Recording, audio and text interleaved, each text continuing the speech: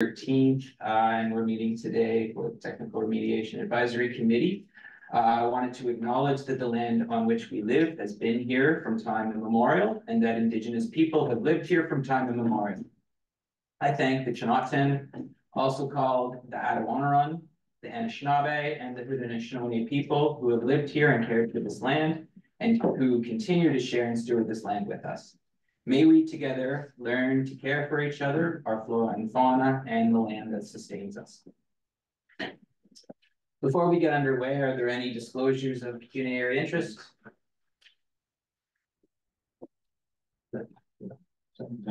Seeing none, um, we do have minutes from our previous meeting. Are there any concerns with those minutes? Uh, can we get a mover for approval of those minutes? Uh, do Linda and Susan all in favor? And that's carried, thank you. Uh, we have no delegations today. We have a couple of presentations. So we're going to start uh, with the electronic dashboard. So it's the Engage Waterloo platform discussion. And I'm going to turn it over to Ray to walk us through. Thank you for having me here. I'm just going to share my screen. So as a part of the um, engagement process, when we reviewed the terms of reference, one of the items that came up was to have an electronic dashboard where you could house some of your information and kind of pull it out of being buried within our municipal website. So what we have done is uh, we are a partner on Engage WR. Um, we specifically have our own Woolwich Hub, uh, which I'm showing you here. Um, that contains three sections. Um, so there's planning applications and projects. There are infrastructure projects.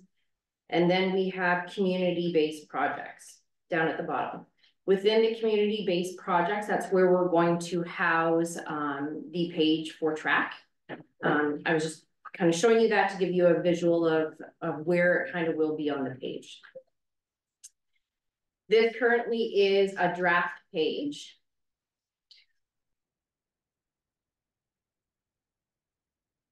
So this is not live as of yet. What I have done is taken a bit of information from your terms of reference, as well as some information on um, the municipal website and created this. So right now I've done a little bit of a preamble um, as to what the page is. We have linked specifically to your new TRAC terms of reference, as well as the procedural bylaw. We've also included um, a link to, back to the council and committee calendar where all of your minutes and um, agendas, agendas are housed. With this site, we have the ability to add different widgets. And one of them, which you will see once the page is live, is for people to subscribe to the page.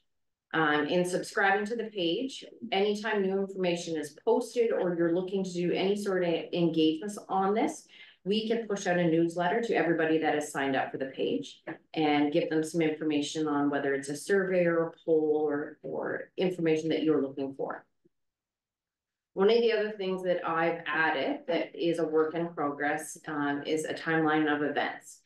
Um, we're going through some information and one thing Stacy will probably do um, moving forward is work with the committee on what items you actually want on that timeline um, I just kind of hit some of the larger ones that, that I had just to give you a visual of um, some of the capabilities of it.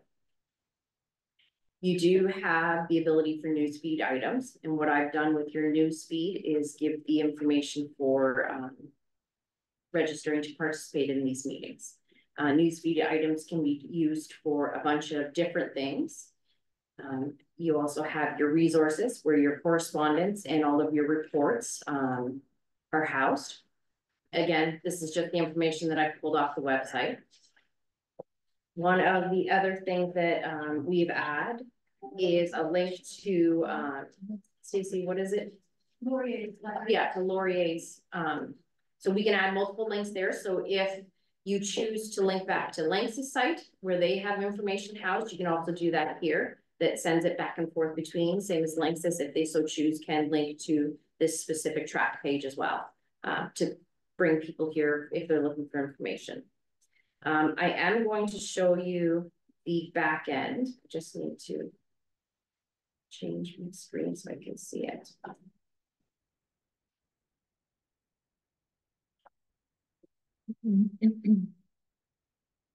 Because in showing the back end, what I'm going to be able to do is kind of show you a little bit of the capabilities that we have within the program. And specifically with surveys and polls.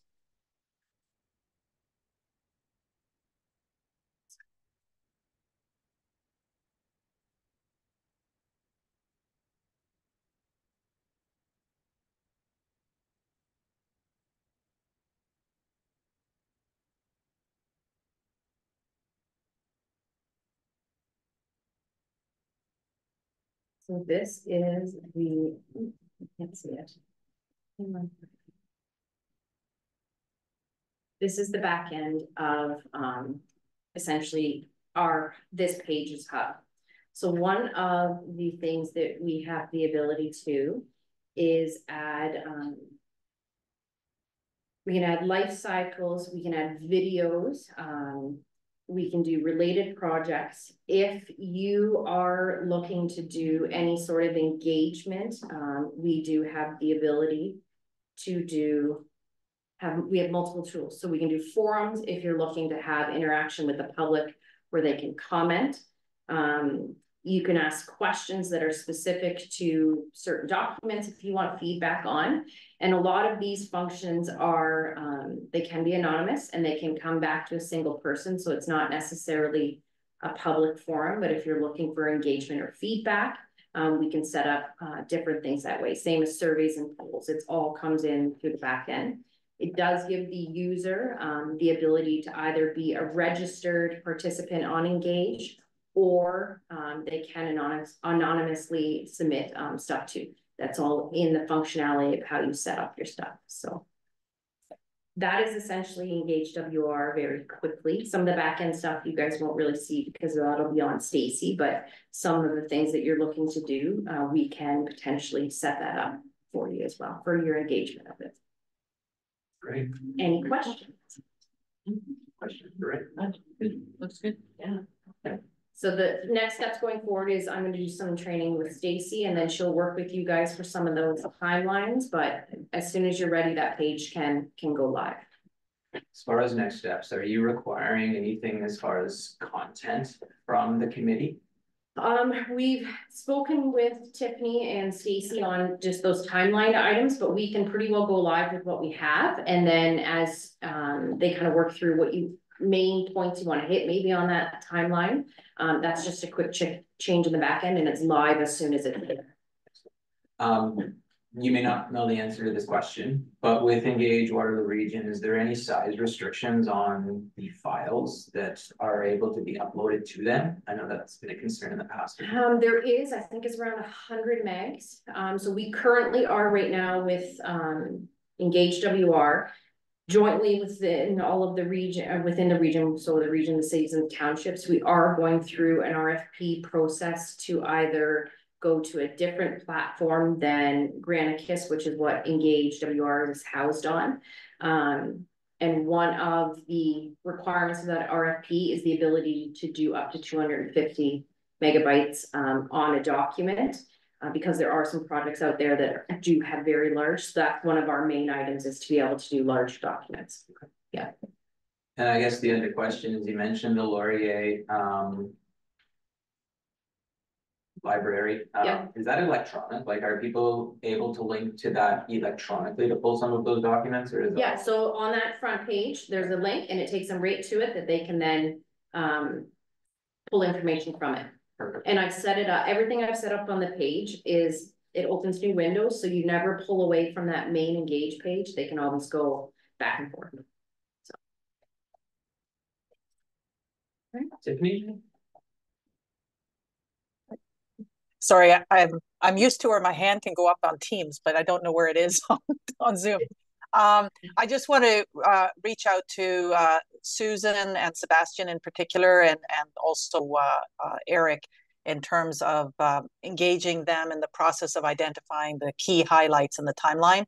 Uh, they've been involved far far longer than I have, and um, and would would recognize the key sort of milestones through the process from 89 on. So I just want to make sure that that's on the radar as well. Any other comments or questions for Ray? Discussion? Thank you very much for coming in and giving us that presentation, Ray. It's looking very promising. You're welcome. Have a good night. Thank you.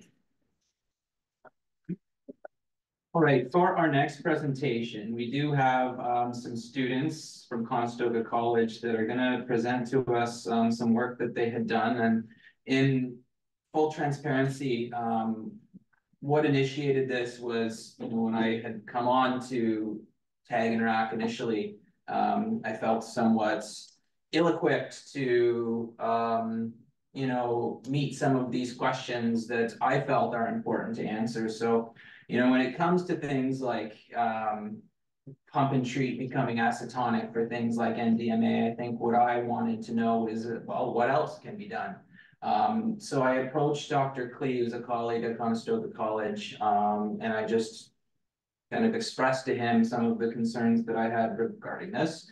Um, and I'm wondering, uh, Dr. Klee, if I can just turn it over to you and maybe you can um, introduce yourself, the program and the students.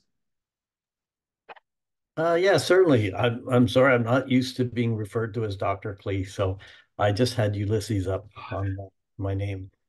Um, yeah, so as Nathan mentioned, I'm a professor as well at Conestoga College. I work in the environmental public health program. Um, and every year we have a research um, course that the students take. It's usually in their final year. Well, actually, it is always in their final year. And um, so Nadia and um, and Sadie um, did a project that uh, reviewed the um, different types of remediation or treatment options that might be available um, specifically for NDMA. Um, so I will turn it over to them and, and they can walk you through their, their poster. Thanks, Ulysses. Nice to see you. Good to see you as well. So I'm Nadia and Sadie's here as well. We did our uh, research on removal of NDMA uh, in groundwater or aquifers. Um, so we had to do part of our research component. We had to do a poster. So this is our poster. This is all of our main kind of points that we're going to talk about today. Um, and then, yeah, we'll get started for the presentation.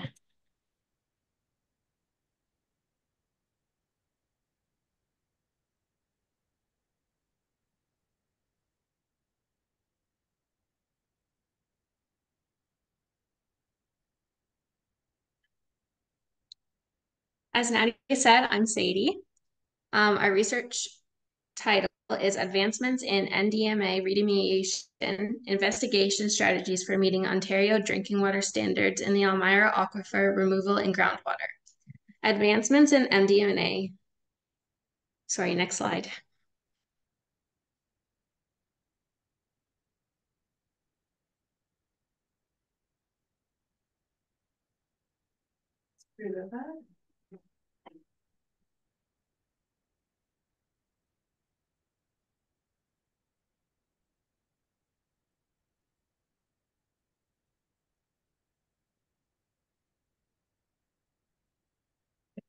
Uhum.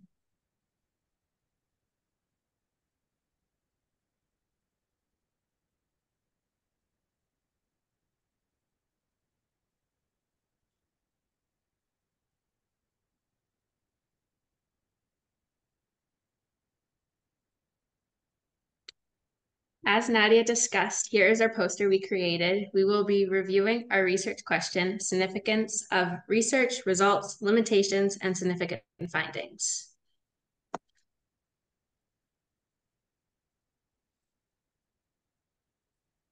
A research we are conducting will aim to answer what are the current practices that reduce the concentrations of NDMA in Elmira water aquifer and what are the new remediation practices are available to meet the Ontario standards for drinking. The significance of our research is focusing on NDMA. NDMA stands for N-nitroside. It is a chemical that is typically created by industries that produce synthetic rubbers, lubricants, and plastics, also produced by natural processes. It is slightly difficult to detect in the environment and in our drinking water systems because the chemical is a yellow liquid substance that has no recognizable odor. Chlorinated benzene was also a concern of interest as this poses a health issue as well. However, our main focus is on NDMA in the Elmira aquifer. NDMA is a semi-volatile organic compound known for its potential adverse effects on humans and the environment. Chronic exposure to this chemical can increase the risk of cancer in humans and disrupt the ecosystems. NDMA was leached into Elmira's aquifer from the surrounding industrial sites over 30 years ago. In this case, this caused a significant concern for the people living in the community, and there was an urgent need for NDMA mitigation strategies to remove the NDMA from the aquifer. Currently, Waterloo Municipality is transporting potable water to Elmira for the community. To this day, it still remains a prominent issue as NDMA is still remaining in the aquifer and the community is unable to use the water safely. Methodology, we researched the web through reliable search engines. We used the terms that apply to a research question and filtered through a Casper tool. We use the CASP tool, which is an effective tool to ensure that articles were used, we they were appropriate and fit our research question. We got the chance to tour with Lanxess to see their current remediation practices for both wastewater and groundwater, just to get a grasp on what their practices are for removing the NDMA and how they plan on making the environment safe. Nadia is going now to discuss the remediation practices.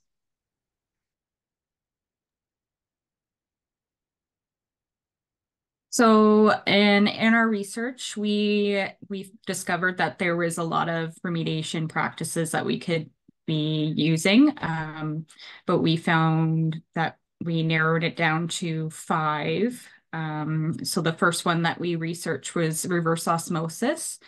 We found that this was effective in removing NDMA as it uses a semi-permeable membrane to purify the water by applying pressure to with the contaminated water to force it through a membrane. The NDMA contaminant would be physically trapped and prevent it from passing through to the other side of the membrane filter, which can produce clean water. We also found bioremediation utilizing uh, propane oxidizing bacteria this approach involves enzymatically breaking down the NDMA into simpler compounds. Um, this enzyma enzymatic reaction involves oxidization of NDMA leading to less harmful substances. Uh, it can be completed two ways. So it'd be an in-situ treatment or an ex-situ. So in-situ would um, involve directly injecting the propane and oxygen uh, into the contaminated groundwater or aquifer and using aerobic conditions, which increases the growth of propane, oxidizing bacteria, and would degrade the NDMA. The ex-situ would uh, be removing the groundwater from the contaminated sites and pumping it into bioreactors and having the same process of the propane oxidizing bacteria but then it would be the treated water would then be returned back into the aquifer or discharged back into the environment. The third we found was granulated activated carbon. Um, this method involves passing contaminated groundwater through a bed of uh, granulated activated carbon, similar to a large Brita filter where the NDMA molecules adhere to the carbon surface. And this is effective in reducing NDMA in, in groundwater. Our fourth, we found ion exchange. This involves by passing contaminated groundwater through a synthetic bed of resins, both anion and cation exchange process. This can remove NDMA by up to 43 to about 83%. The anion, exchange, involves the passing of NDMA contaminated water through a bed of synthetic resin containing positively charged functional group and exchanging it for negative charged ions. The cation exchange is the exchange um, similar, but the positive charge ion ions are more positive charge ions. Ions are exchanged rather than the negative. The last one we found was uh, UV. So the process of UV light is to degrade the NDMA by breaking the NN bonds in the NDMA. This is highly found to be highly effective in removing NDMA from the groundwaters. However, sometimes the high energy consumption and maintenance requirement, it can probably have higher costs. Um, but it was also found to be very effective in removing NDMA.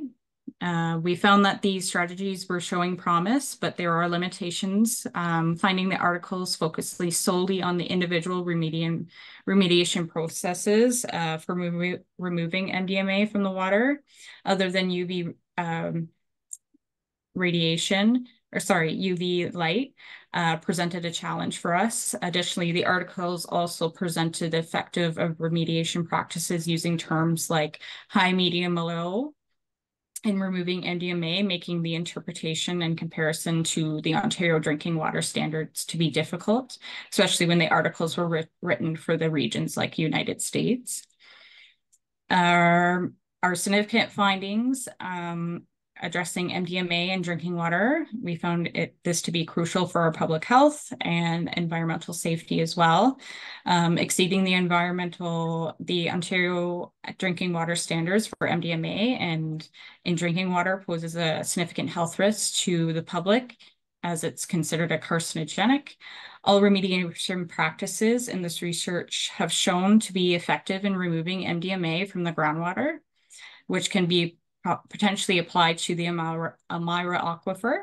However, it's important to note that to treat the NDMA, NDMA would most likely need a multi-step approach.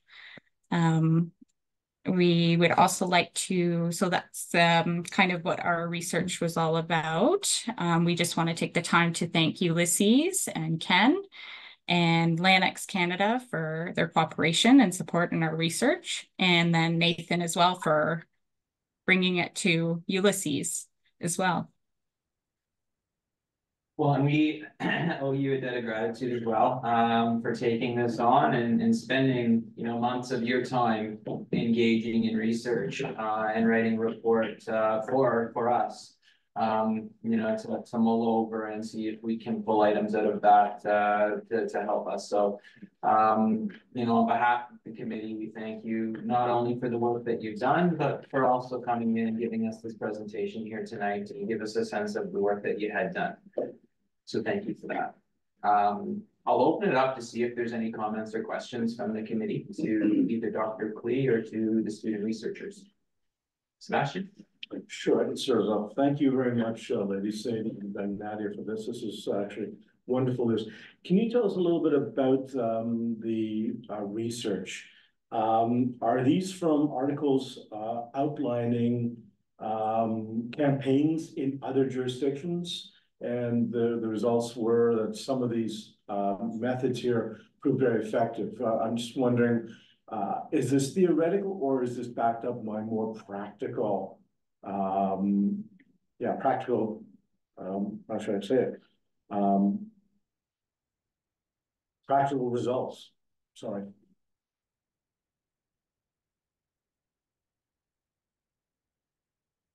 That question makes sense or? Um, so like for our, a lot of the articles that we found, um, in the process, um, were a lot of them were kind of the United States. So we had to kind of, I guess, do like we wanted more of a Canadian standard or an Ontario drinking water standard. Um, so the only ones that we really found, I believe, were the propane oxidizing bacteria was used in one of the was like a, I think it was a 20 year research um, for a plant in uni- in the United States, and then uh, the UV was I think Lanxess uses it, um, and then also they in I think it's Ohsweken there was kind of a similar incidence where that happened, and they used UV. Um, so that was more closer to the Ontario water drinking standards that they could get. So does that answer? Getting, getting close, Nadia. I, I'm just wondering the, uh, the supportive evidence that you have, it's based on actual successes or actual attempts in other jurisdictions to, uh, to control NDMA or to remediate NDMA. So these are not theoretical approaches, these are actually practical approaches that have been written about. And they are by and large successes? Or are there certain questions that have to be made about uh, the use of these, these methods? Yeah, so you're you're yeah, you're correct in that. Um, it was more or less um like they're all researched um articles that we were using or evidence-based articles that we were using. Um, and they were in like used in practical experiences with NDMA um, removal. Um, I, yeah, I think there wasn't anything that we researched that was kind of just out there. Um, the only thing that we kind of had difficulty was there was articles with like a multi-step approach. So it wouldn't just be kind of one, it would be maybe like one or two that would be fully or more effective than just one um, approach to it. I'm go to you, I So you put your hand up there and then I'll go over to you, Hadley. Okay, yeah, yeah, I just wanted to add to what Nadia was saying. I think it is fair to say that that um many of the technologies that um Nadia and Sadia Sadie looked at have been tested at the very least and shown to be quite effective. And in fact, and Hadley might mention this as well, that some of them are actually being used currently by Lanxess. So they they are in um yeah, they have been proven to be effective. Um so I just wanted to add that. I don't know if Sadie wanted to to contribute as well. You said the same thing as what I was going to say, Ulysses. I cut out there for the whole section, so. Thanks for that. Hadley, I saw that you had your hand up as Yep. well. Yep, I have a question, then maybe I can add a little too if if there's time. Well, thank you for this. This was interesting. What was the what was the most interesting thing that you found during your research? Like what stuck out to you that you might take on? Um, I enjoy like looking at the different remediation processes and actually getting the chance to go to Lanxess. I didn't know about the situation until Nathan brought it to our attention. So thank you, Nathan, for that. Um, and Lanxess was great with the tour. Like we got a tour of the facility and like see what they were using. So as Nadia said, they were using UV. So then we just got to see their whole process and what they're doing, try to like get the NDMA out of the river. Nadia, do you want to add anything? Yeah, um, yeah, it was quite it was almost um, there's a lot of research out there for sure about NDMA and even chlorinated benzene. Um, so I found like a lot of the time we kind of had to, I guess, um, uh, I guess more like narrow our research down to more like NDMA. Um, but yeah, there's like a ton of research out on there for NDMA removal practices. And yeah, it was just very interesting to learn about um, this whole process and everything. Yeah, it was interesting for sure. Thank you. And so, so I'm with Lanxess. I'm pretty new. Um, so my understanding is still pretty shallow on on a lot of these topics. I think some of definitely a lot of these com the community members know more than I do. But the to just to describe a little bit, ex situ is when you're taking the water out like we are. We're pumping it out, we're treating it above ground, and then in situ, you're targeting where the mass is, and you're hoping you can make it a nice atmosphere for bugs that will degrade those compounds. I and it, and that works wonderfully when it's the right chemical, right? With the right compound that bugs can eat. Chlorinated solvents, they just love to eat those up. but the NDMA, I, you know, I'm not keen on bringing propane out into the neighborhood to try to do that in, in situ in the ground where the where the NDMA is, because I, I, I think that has its own safety hazards and risks. Um, so we are at LANXESS, we are using UV and and carbon, um, gran granular activated carbon, and we have our own kiln so we can recharge the carbon and not have a, a lot of waste and so forth. But it is really energy intensive and it does a great job of cleaning the NDMA out, right? It's it's there. We we can the water at the end of the line that goes into the creek you can drink. Now where we're stuck a little bit is that the NDMA is still stuck in the aquifer. There's areas where um, you know we're sucking from straws. The wells are straws, and the NDMA might be over here, and we just can't get to it. Um, or there might be silt or some other type of uh, geological challenge, I'm going to call it, that it's hung up in, in, in the soil itself and not necessarily mobile that we can get it with the ex situ treatment. So that's where I'm going is kind of next steps. And I'm really challenging GHD and WSP to say, what can we do? Because uh, the 2028 um, year is out there and we want to achieve it, but just because we've removed so much mass, but there's still th this area that we need to further target on um, to, to, to get there with ex situ treatment. Nope. So thank you. This was really informative. Any other questions or comments? Brian?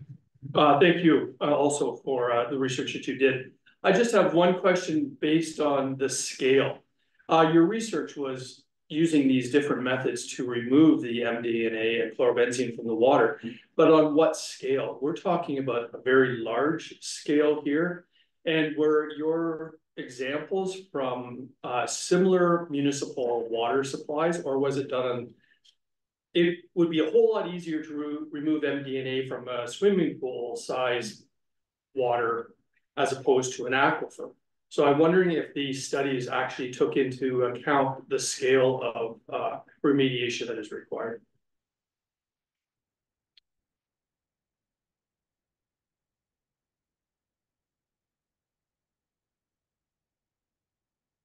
Maybe.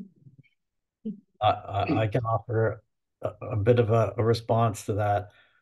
From my understanding, a lot of the technologies that uh, Sadie and Nadia looked at are scalable. Um, it really does depend on, you know, the, the size of the remediation effort is very much going to be dependent on the volume of water that needs to be treated. Um, but activated charcoal or granulated granular carbon is a great example where more water, more carbon, um, UV as well. You just have more cells, UV cells. More energy. As, yes, as Hallie mentioned, it it's the cost that uh, increases as well. I think our plant does. I, am you know, I'm getting a lot of information. Right, I've only been here two months, but it's what is it, two million gallons per day. So it's a it it. I was certainly impressed when I saw the and I and I'm not trying to plug LANXESS, right? But it's a city-sized treatment process that they have, and um, you know, it's one at least one full-time operator, 24/7. It's not a small scale.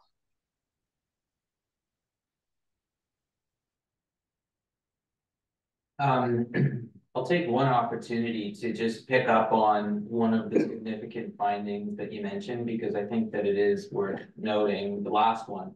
It's important to note that the treat NDMA would most likely need multiple step approach. Um, I'm wondering if you could elaborate on that a little bit. Um, you know, what exactly do you mean and, and what kind of brought you to that conclusion? Um, yeah, so like we've in our research, we found it more, I guess we were trying to focus on just one approach at a time. Um, but when we were looking at a lot of the articles, they had um, a few approaches. So they would have UV, they would have the activated carbon, they would have um, the reverse osmosis. So it wasn't just one, like we would, it was more difficult to find just a singular one than rather than multiple ones. But I feel like a lot of the time we found people were using different um, I guess, processes. So they would be using either reverse osmosis plus UV or reverse osmosis plus granulated um, activated carbon. Um, so I just, we just found it was more better, it was better to have the multi-step approach because there was more research done on those. It was just finding um, that. Yeah, I'll just add to that. I think uh, each each individual approach had a certain efficiency, and it's when you sum them or put them in a series that those efficiencies um, added up and provided a much better result in the end. The only other question that is kind of nagging at the back of my mind is we are reaching a point here in Elmira where it is becoming asymptotic to remove some of this NDMA. Was there anything that you came across in any of your research that specifically looked at sites that may have reached this state and what could potentially be done differently other than the ex situ pump and treat type things?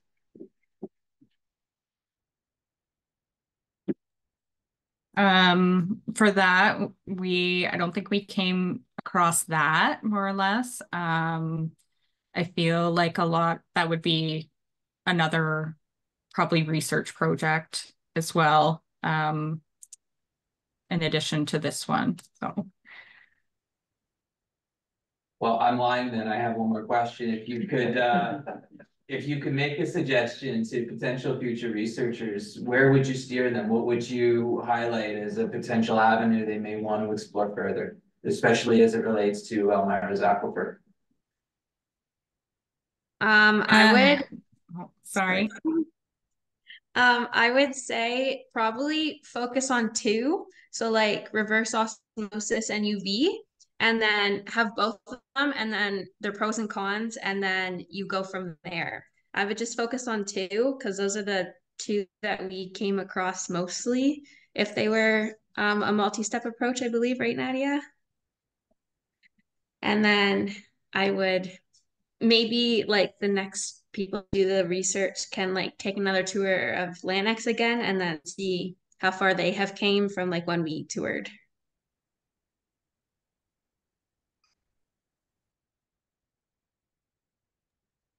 Susan? Uh, ju- just to clarify, uh, it's my, that I heard you correctly, it's, it's only the, um, the, the propane biological treatment that that is, that can be used in situ in the aquifers to reduce the NDMA within the aquifer, is that correct? All the others are after you extract the water.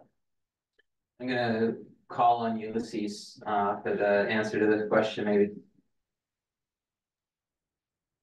Um, I'm not aware of another in situ method that would be effective against NDMA.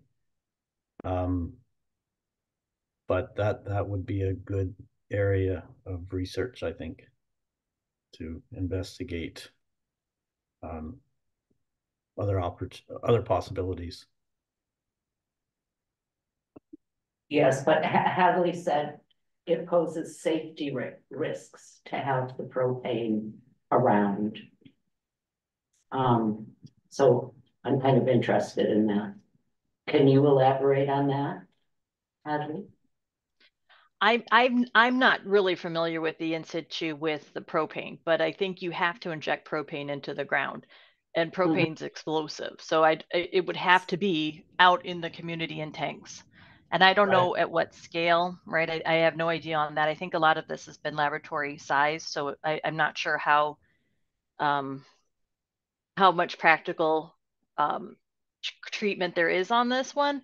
I'm gonna be look. It's part of my learning curve, but it's you know I I- I just don't see that as a good idea, right? Putting propane in the community.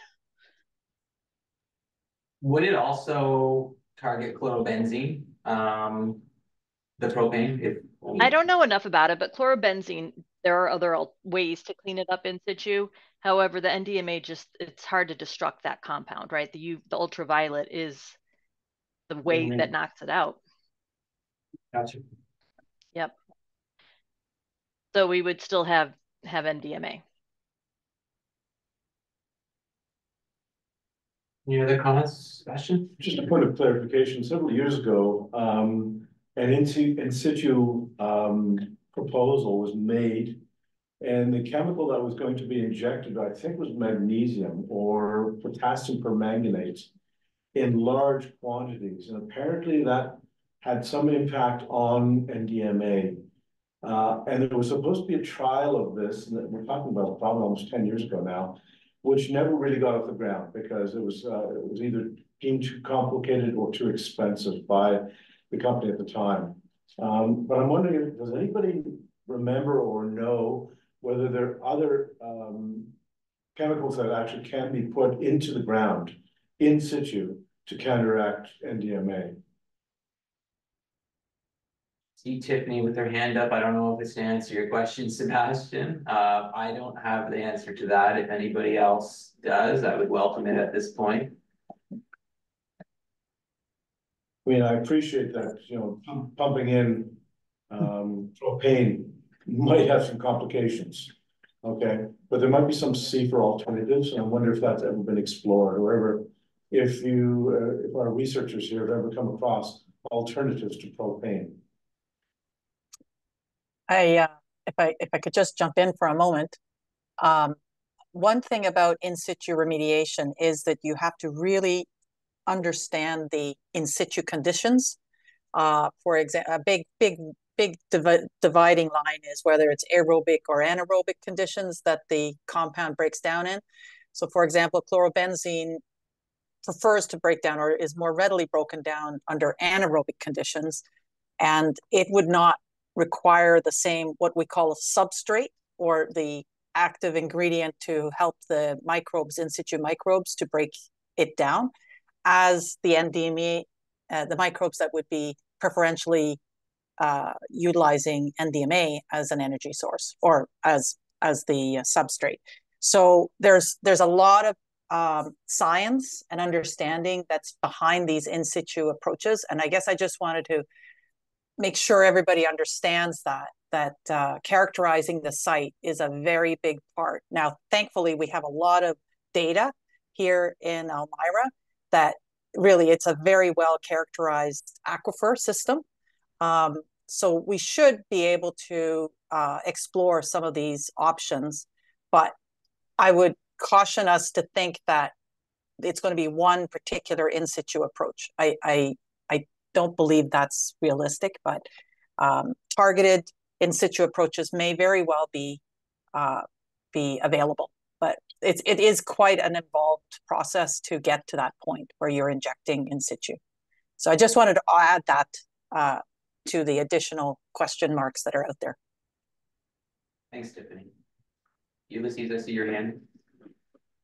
Yes, I just wanted to add a little bit of my own experience with permanganate as to why it might have been um, discontinued or not pursued. Um, I know that um, it was a very popular chemical to use with organics. It's a strong oxidizing agent, so it tends to break things down, but it does have a relatively limited uh, field of of of um, of action. So you can inject it and it creates a, a, a small zone around the, the well um, where you get relatively clean clean water or disinfected water. But um, yeah, it, it tends to have a pretty severe limitation. So it, was sold as a as a sort of a silver bullet, but in the end, it didn't do. It didn't typically do what was what was originally hoped. Um,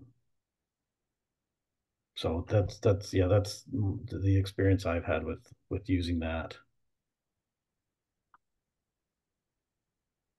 All I can add is that um, something like that was, I think, attempted about ten years ago the south end of town uh, by, I believe it was Chemtura.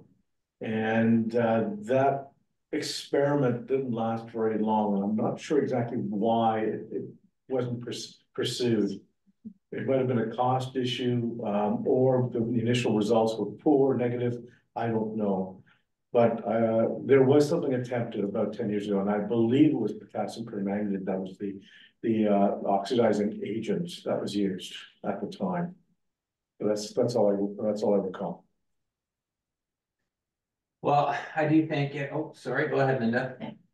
Thank you. I just want, I just want, I, no questions. I just want to comment. I, I read the, I read the, uh, the report that was put together and I thought it was, it was very easy to read and very well done, which, well, layperson's point of view was very helpful, but from my perspective and going through the monthly reports and as has been noted already, um, by both, uh, Sadie and Nadia and, and Hadley that they're using the carbon process and also the UV process, it kind of just, when I was reading through and I saw that, I went, well, that, you know, those are two treatment systems that they found to be effective in their, in their research and it is being used. And, uh, so that kind of made me feel pretty good that that that's, you know, that's two good options. I think the, the outstanding issues what we've been talking about, and it's a collection side of of the system and not so much the treatment side of the system. That's, Yeah. that's our problem right there.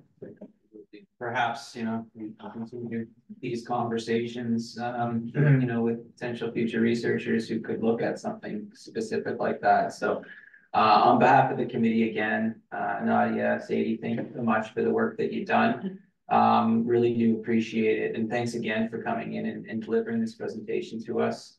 Ulysses, thank you again, um, for your oversight and, uh, for making this happen, I really do appreciate it. Well, you're very welcome.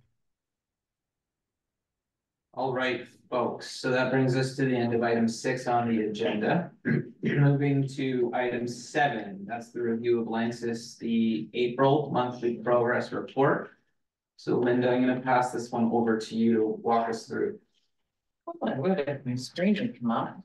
In a perfect world, right? Yeah, my- Of course, and I didn't print it off today.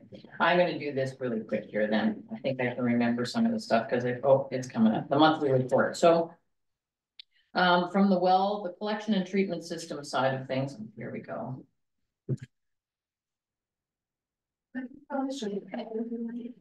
No, um, but thank you, um, I, it's up. Thanks, Stacy, I got it, thanks. Okay. So W three R from the collection and treatment side was shut down in October, then this is still going back, just um. Continuing on with it, um, due to some problems that have been noted in past summaries. Um, and part of that was that they were, um, had put out a tender to, um, have some wireless equipment. Ordered and installed, and the expected date on that, Hadley might be able to help with that, was to be May seventeenth, so I don't know if they've got that wireless equipment put in in order to, to help resolve the issues with WR three, but May seventeenth was, I'm sorry, I don't have that off the top of my head. I would need to get back to you. nope, that's fine, thank you. Um, we've talked about PW six is almost ready, um, to come online. Um, the well was being connected to the existing treatment system in order to bring it online, so that's what was going on for the April report. W five A pumping rate was decreased from April 9th to April sixteenth as a result of a high pressure in the W four carbon absorber. Um, it was rechanneled temporarily, temporarily reducing high pressure, but allowed W five A to return to its target um, rate for the rest of the month. Um,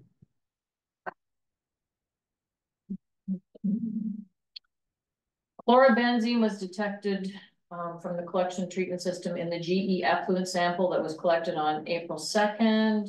Um, It was also noted in the collection on April sixteenth. It was also detected in the SFE effluent sample collected on April second, but not in the one at that location on April sixteenth. Um, they noted in the report that the total combined discharge effluent concentration, so from the two sites for, for chlorobenzene was greater than the effluent objectives of 0.5, but less than the limit of, of ten micrograms per liter. Um, it also notes the results may be attributed to W four and W nine treatment systems. So Lanxess has ordered carbon for the carbon absorbers to, uh, to, to, to help resolve this issue. However, that can't be done while WR three is shut down as the absorbers cannot be backwashed during the replacement process. So they're continuing to monitor all of this. So there's, there's that interconnection in the system that's that may cause some delays on, on treating that as well. Uh, toxicity, no acute toxicity found in any of the samples. Um, in the April, it was the quarterly receiver water quality data came through. Um, pH, formaldehyde, and total phenols were found in sampling. And typically when I do the summaries, there's a lot of times we, we note formaldehyde and total uh, phenols in the water quality being a little higher than, than normal. Uh, pH was also found this time and was found in samples upstream of the site. Um, formaldehyde was detected in one sample collected from surface water monitoring station SS nine two five.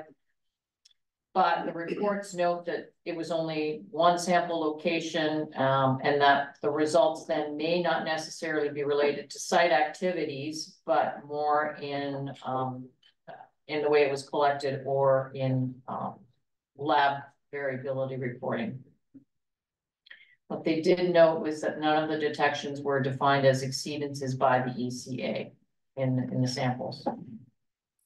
So groundwater elevation monitoring was also, I think it's semi-annual, semi-annual groundwater, yes, it's now semi-annual. Um, and gotten a lot of notes in the summary, but in essence, I think uh, cutting that down for uh, time, it's what they noted in the elevations is that basically in some locations through the monitoring process and the sampling of the elevations that there was a loss of containment. And which is also noted in the, in the report that um, they did have a loss of containment in the groundwater elevation monitoring in April. Um, Lanxess as per usual, because we know it on these on other times, followed the ECA requirements. They collected samples during this period and there were no adverse impacts noted.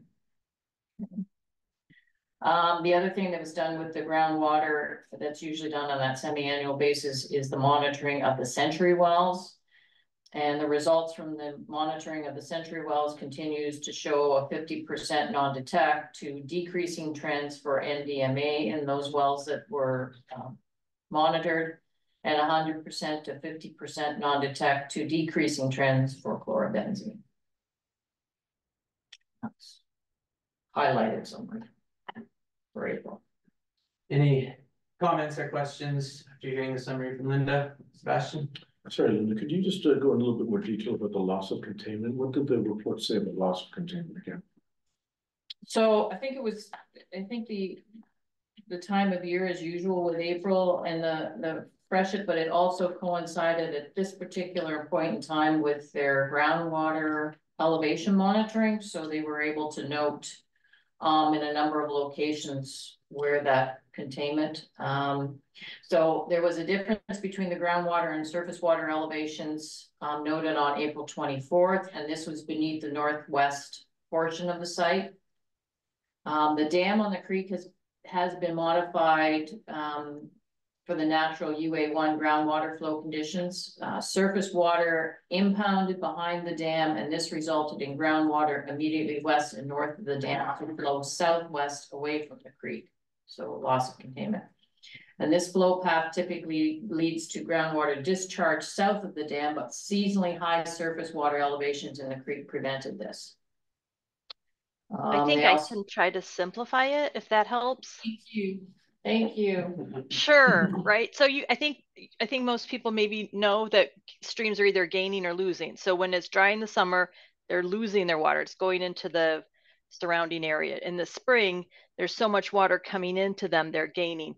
So this happens in the spring. We need, this is, I think it's specific to the plant area itself, right? We have extraction wells on site at the plant that we're treating the water. And we basically have to keep the water lower than the creek. But when it's when it's so much rain and so much infiltration from precipitation or melt events, it's hard to keep up with that. So we have a loss of containment.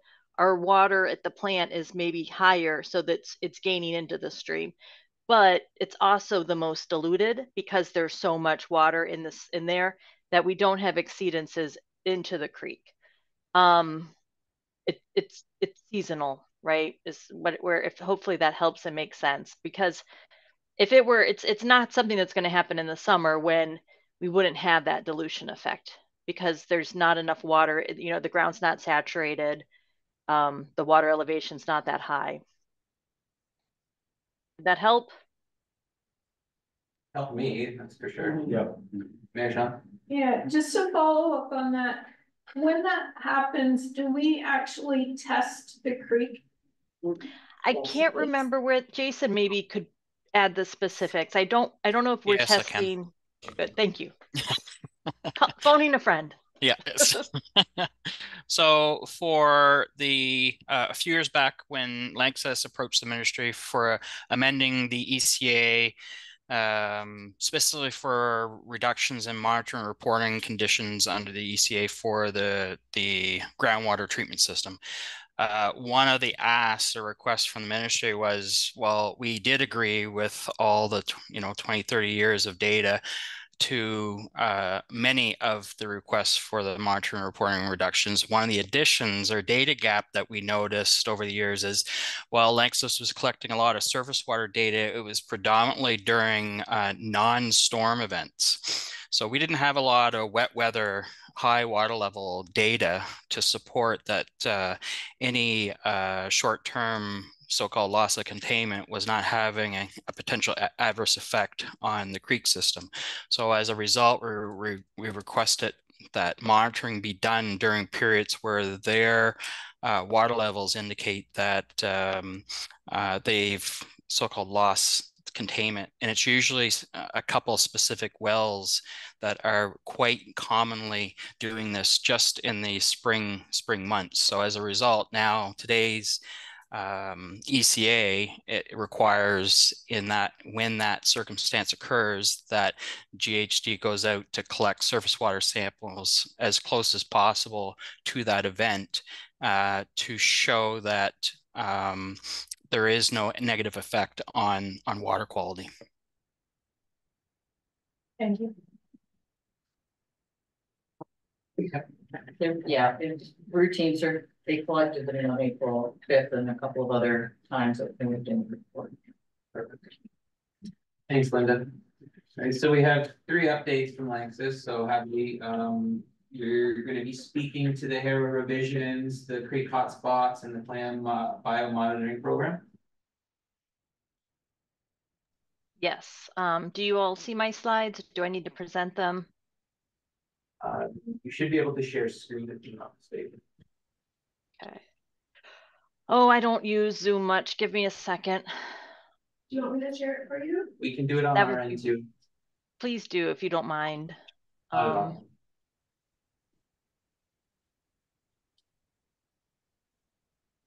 yeah, I'm not seeing a quick button to share. Oh, I see it now. Do you want me to share? Go ahead.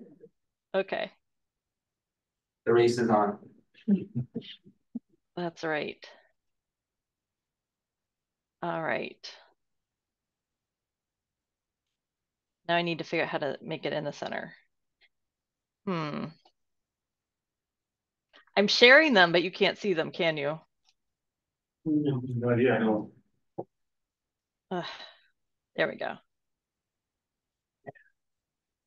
How does that look? You can resize it with your uh up and down arrows there on the far left. Right, on the far right bottom. Oh, The plus and The minus. plus and minus in the line the, glass. that's, Yeah, Down, down, down. down. Down. oh, yeah, thanks. Okay. There it is. It's, it's all like going backwards for me too, so it's, it's like a skill test. Okay, there we go. How's that? Perfect. So the I my updates I I just don't have a lot of depth yet and I do apologize and I thank you all for bearing with me.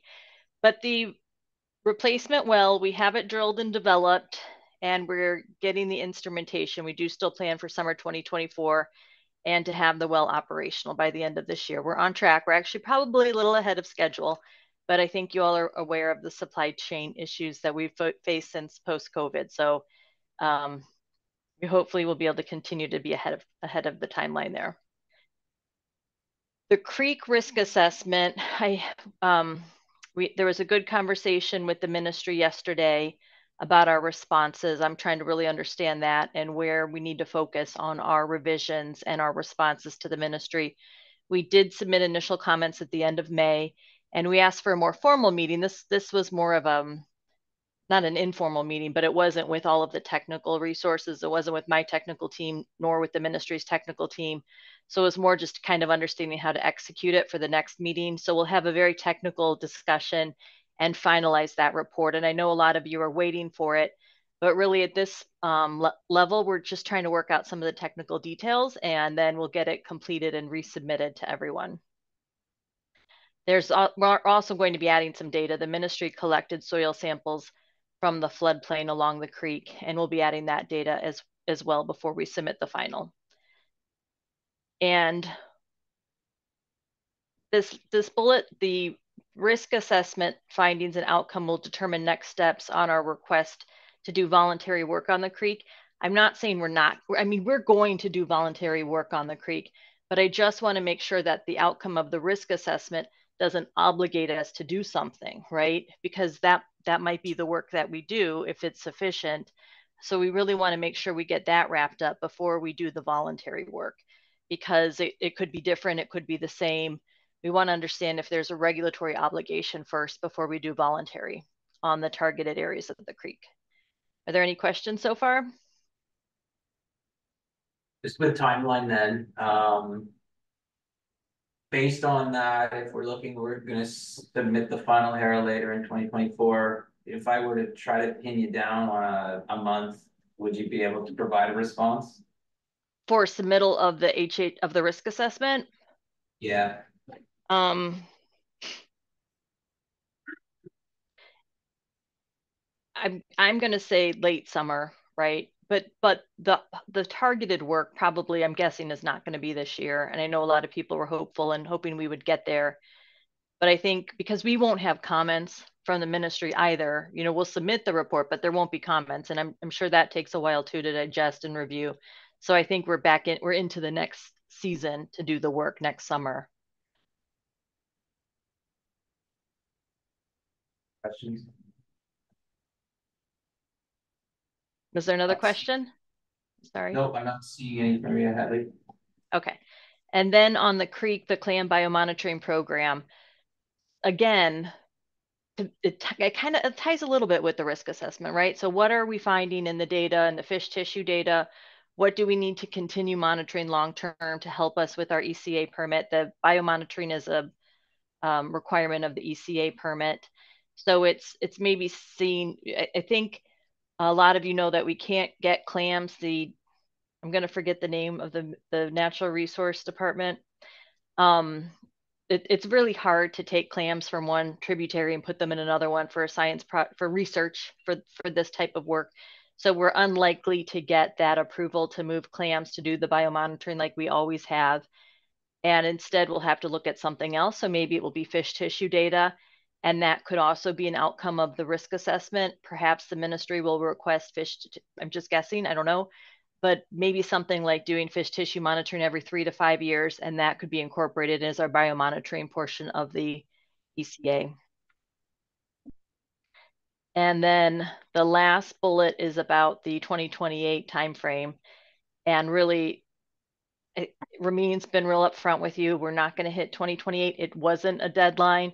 It was a target um, based on 30 years ago when people said we're all going to be retired. Let them figure it out by then. And now, you know, here I am. I'll probably be the one living the 2028 deadline. That is a target. So we'll. Um, I'm really pushing GHD and WSP and my consultants. Like this is what I like. I like to try to figure out the hard problems. How do we get the last of this mass out of there? And it's almost like I'm going to say shake up the aquifer, and I mean that as a as a it, it, might be from sparging a well like pulling in this area then pulling in that area because you got to we have to kind of move the mass so that we can get to it.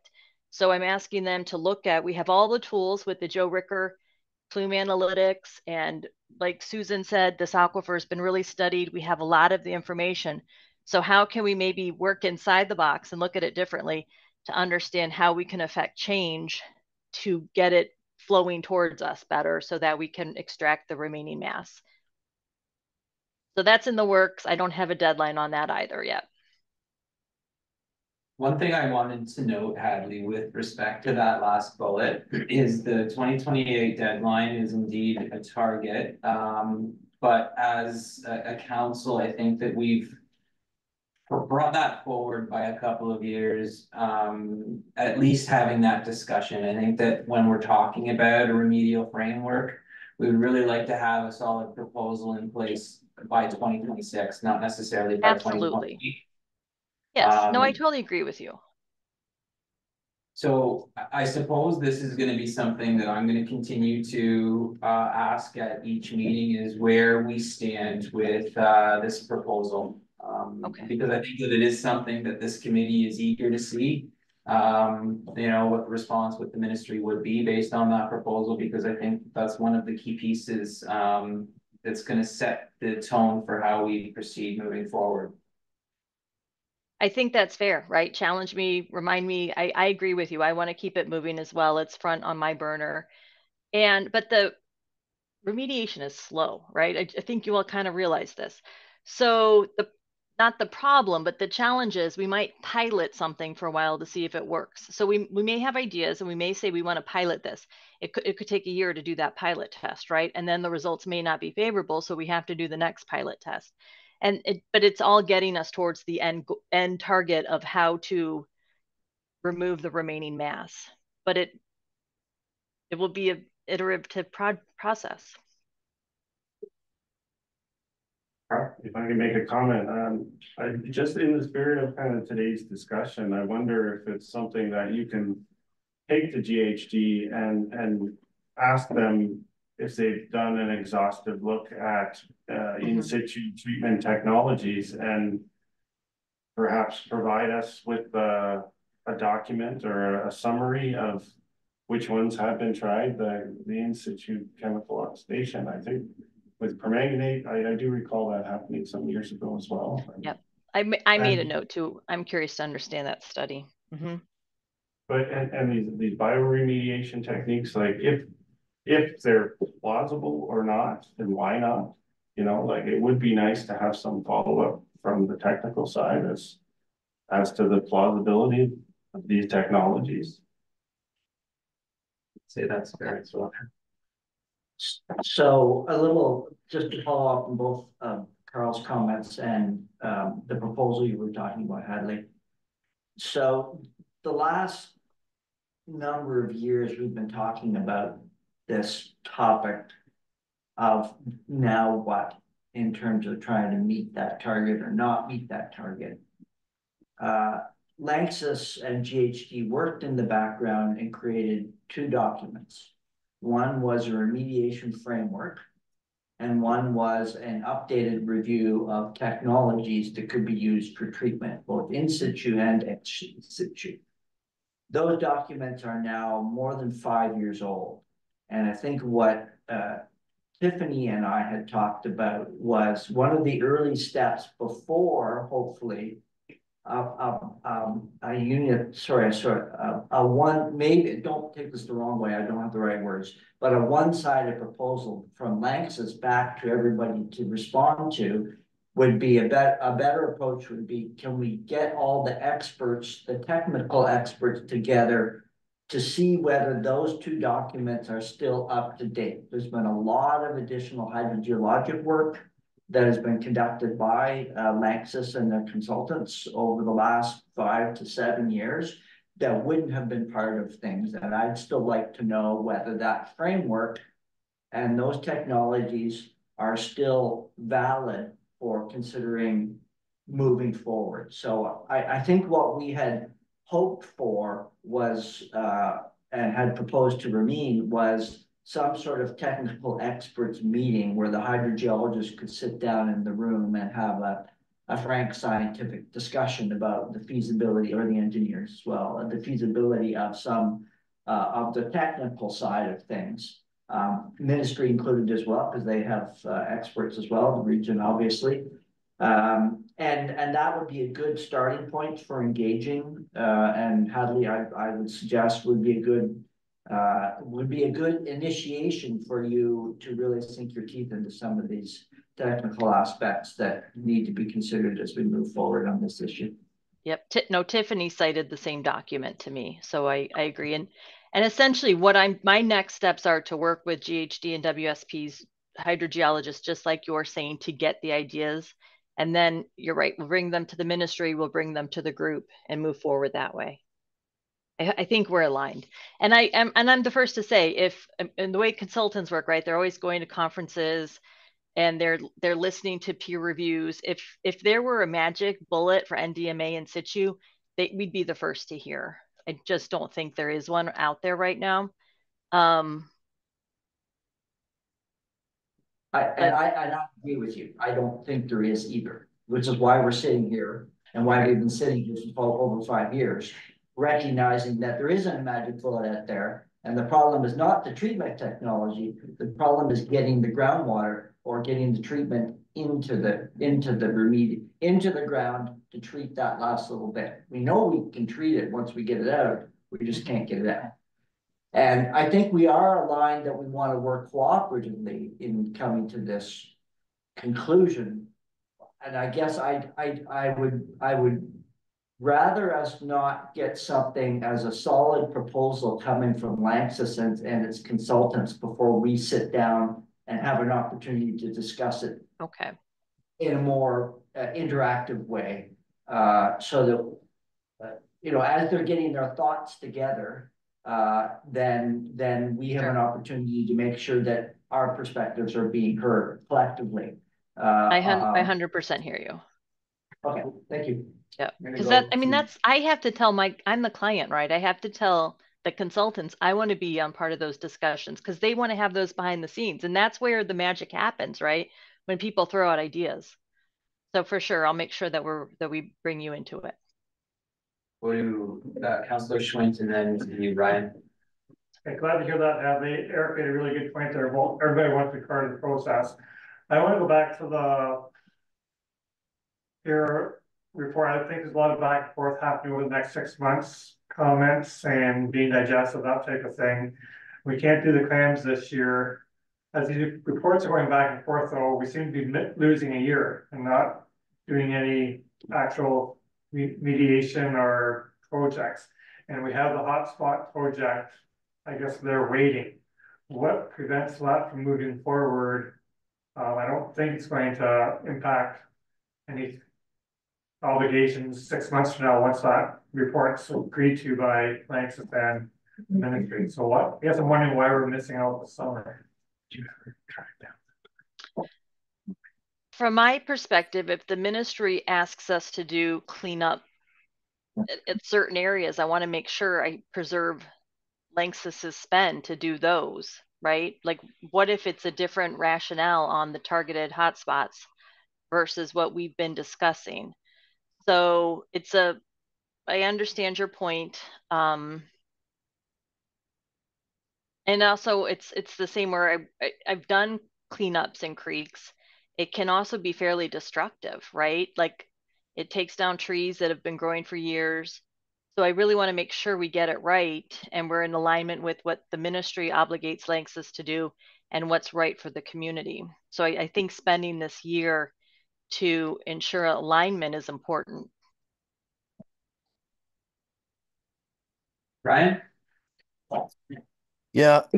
Hi. So yeah, Hadley, just on the clam biomonitoring point, and I think we made note of this, but I, you know, and you're just coming online and and you're in the States, I'm sure. But um just to bring you up to speed, like the previous biomonitoring, they proposed using clams that a species, Eastern elliptio, that's not present in the Grand River watershed. So that's why the MNRF pushed back on it. And so there are a number of species within the Grand River, Grand River watershed that could be used in a clam biomonitoring project that the Ministry of Natural Resources and Forestry would sign off on. And I know that because in mining environmental effects monitoring in Ontario, they often use clams. Um, and as long as they're in sort of that watershed, they can be used, they can be relocated to do upstream, downstream, in situ monitoring.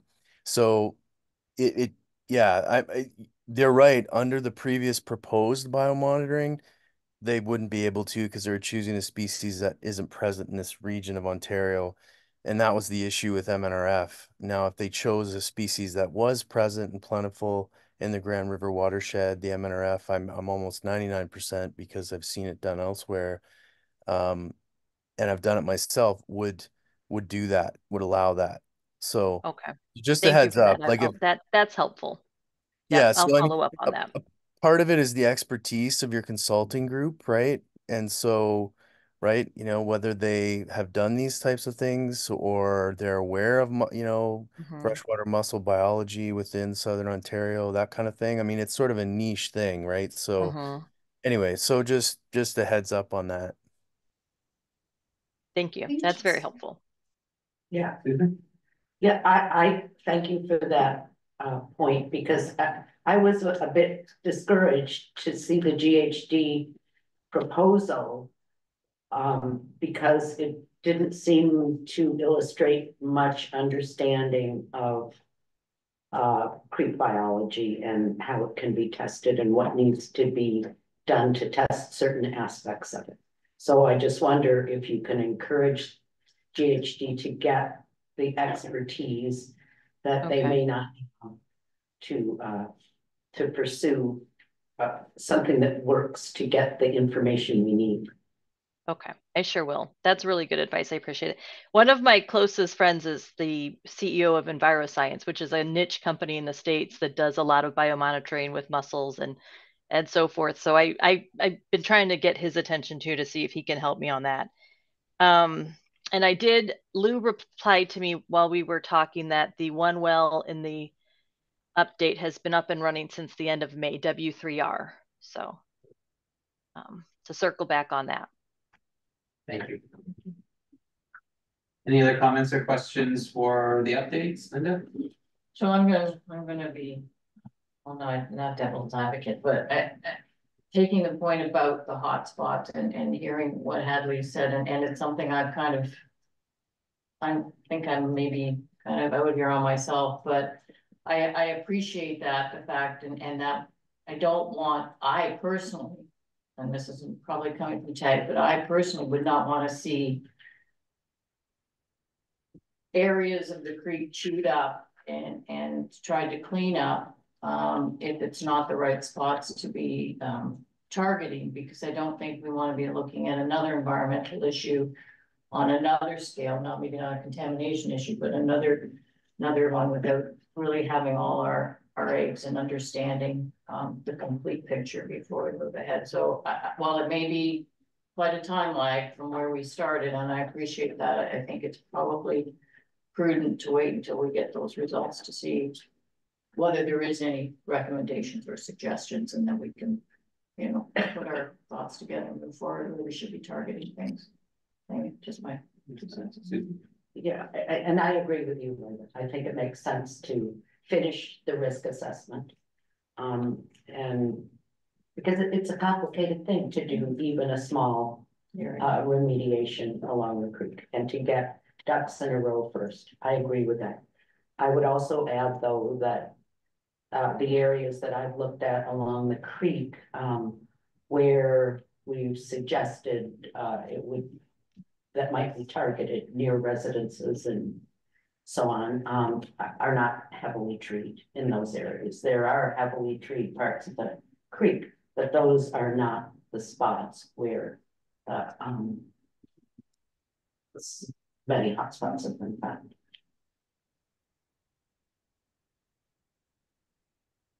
All right, folks, thanks for that discussion. Um, I found that to be very helpful. And in fact, uh, number nine on the agenda, the twenty twenty-eight order deadline. Jason wanted to add something. Sorry, Jason, I just carried right on, uh, not even paying attention. Go No- ahead. No, no worries.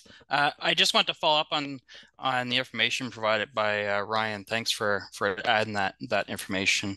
Um, I did follow up uh, a while back with ministry scientists on this and the clams and and the one a couple of comment points that were made is that had to be considered uh, with respect to using native clam species within the Grand River watershed is number one. We have to consider where the site is in relation to like for example, where's your source going to come from for these uh, native clams um, taking them from the Grand Rivers downstream of not only Lanxess, but various other um, inputs into the creek system. So we'd be, you know, hypothetically looking for sources of clams uh, upstream uh, of the Lanxess property, number one. And number two, is the population big enough to provide the quantity that would be needed for continuing the clam study um, without having a negative impact on the actual native population itself. So, so there are various aspects that have to be uh, considered uh, when Yeah, looking and I mean, that. my saying, mine is if if you have, like, if a group has enough, like there is for sure. Yeah. To answer those questions, but you got to have knowledge of that, right? And so you got to reach out to the right experts to know that, right? Those are easy ways of saying, well, it can't be done. This, you know, and oh, I'm not saying that no, it can't be but done. I'm just Uh, saying, this I'm is just saying, like Lanxess in to figure general, out, so and yeah, no, but I'm just saying in general, like you got to reach out to the experts, and I know, I you know, agree. that within uh consulting, you know, you're you're trying to keep it in shop and and and deliver to your your your uh customer and, and No, I'm trying to use the right tool. no, no, and I'm not saying you. I'm yeah. just saying, Oh, you know, yeah, yeah, what yeah. you're relying, you know, and I'm not saying anything against GHD, but I, you know, there there are expertise. But if if somebody was to consult, you know, experts in the field and reach out to people, they would be able to find species that, I mean, I know my like there are spe there are large populations of of species. And the other thing you can do to confirm, because if you're using it as a way of monitoring, right, like contaminants is, you know, if you have a potential source population, look at it, measure the contaminants that are present in it, right? To say, you know, what are we starting with, right? What's our baseline? Are these a valid population to be used? Uh, because if they're contaminated with the contaminant you're trying to biomonitor, then it's pointless, right? But there's work you can do ahead of time to confirm that and say that, you know, this is a healthy, stable, large population. They're, you know, uh, virtually the whatever contaminants are below the detection limit. And so they would be a good tool to use in clam biomonitoring. So, I mean, if if there's a decision not to do it, that's that's one thing, but it's it's not, I would say it's not because it's not possible. It's there would have to be for other reasons, but that that's a bigger discussion, right? Thanks, Brian. Going once, going twice. Um, what I was saying is that in number nine, it's the twenty twenty-eight order deadline, and I think that we've naturally covered some of the items that I had hoped that we would cover in our last conversation. Um, certainly around, uh, potential remediation proposal, um, coming out of, uh, an experts meeting, uh, from Lanxess, you know, engaging with the ministry. Um, I want to keep this item on the agenda, uh, as we move forward, um, more as a reminder to us that this deadline is coming. Um, in the package, I think, Eric, if we go back to December TRAC meeting, you had posed six questions. Um, so I just had asked that these be included once again, and I'm not suggesting that we take them item by item and come up with the answers, because I don't think that we'll be able to. Um, but these are questions that have been certainly at the back of my mind, and I'm sure that they've been at the back of the committee's mind as well. Um, so what are the next steps when it comes to answering some of these questions? You know, we heard from Ray today, and I think that some of the work that she had done with Engage Waterloo Region is amazing. Um, could we reformulate some of these questions to go out to the community and start getting their input as to what this looks like? Is that the best strategy? Um, is this something that we want to wrestle with here as a committee and maybe come up with? Um, some variations to these questions we feel that we can answer, that we can, you know, provide some form of, uh, value. That Lanxess could take back and, uh, use as feedback to incorporate into that plan.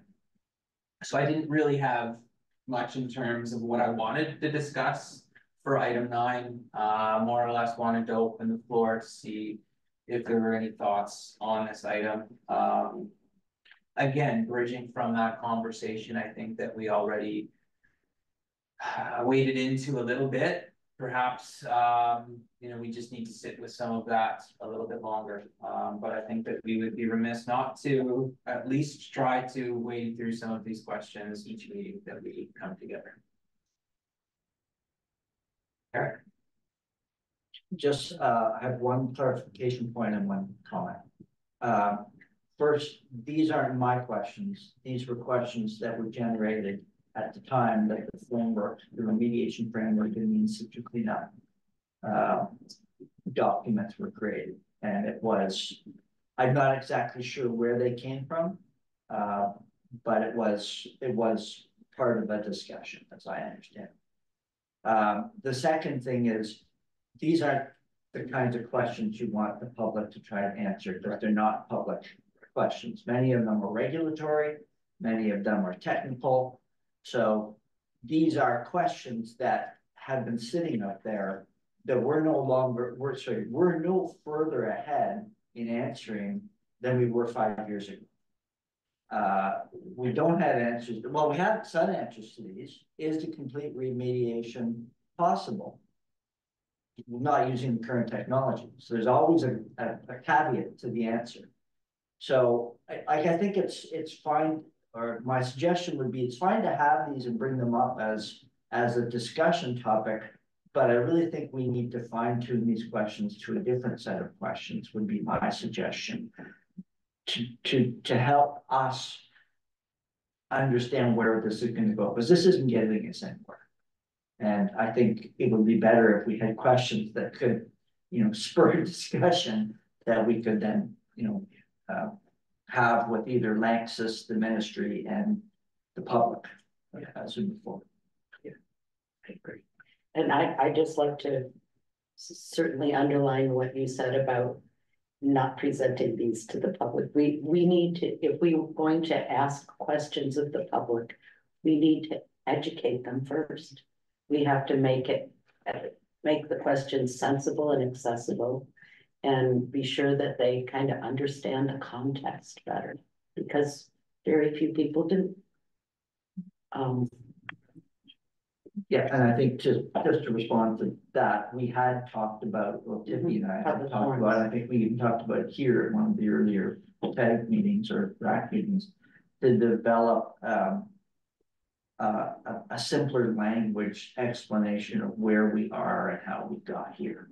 Uh, because that's what we need to be able to provide to the public to get answers to whatever questions we want to pose Because you could, you could add, you could, you could make the comment, you know, is it possible? Well, the comment often would come back, well, why haven't you done it yet? Why didn't you do this 30 years ago when we started this process? Well, there's a big history to that question.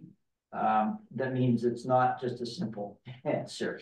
And so if you're, if we're, and, and I don't want to, and we'd end up sounding defensive as to why yes. the company chose this route and the ministry approved this route and we as a community collectively watched as this thing unfolded, uh, only to not be quite as successful as we might have liked um, collectively.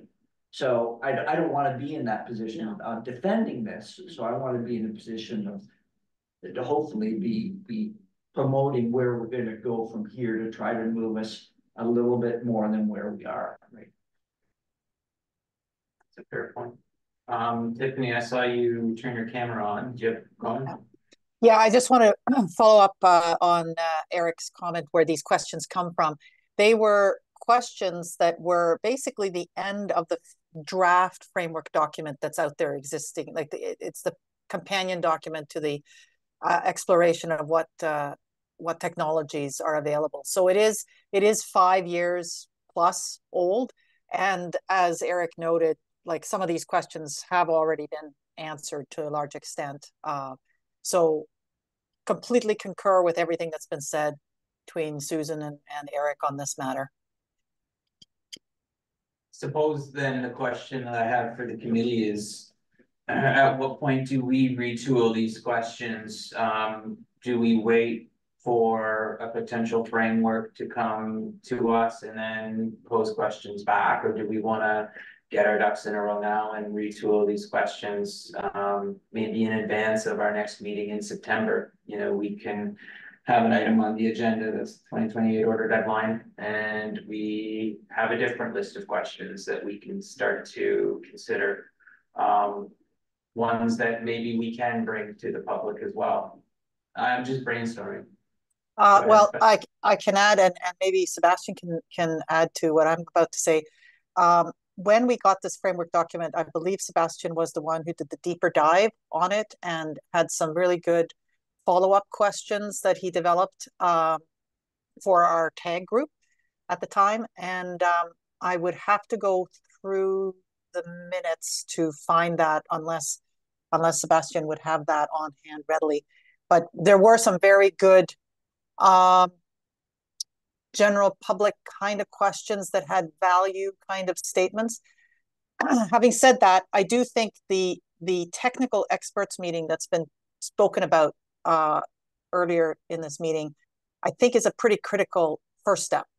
So if that could happen sometime before September, we might be in a better position to have some of these kinds of questions refined by the September meeting.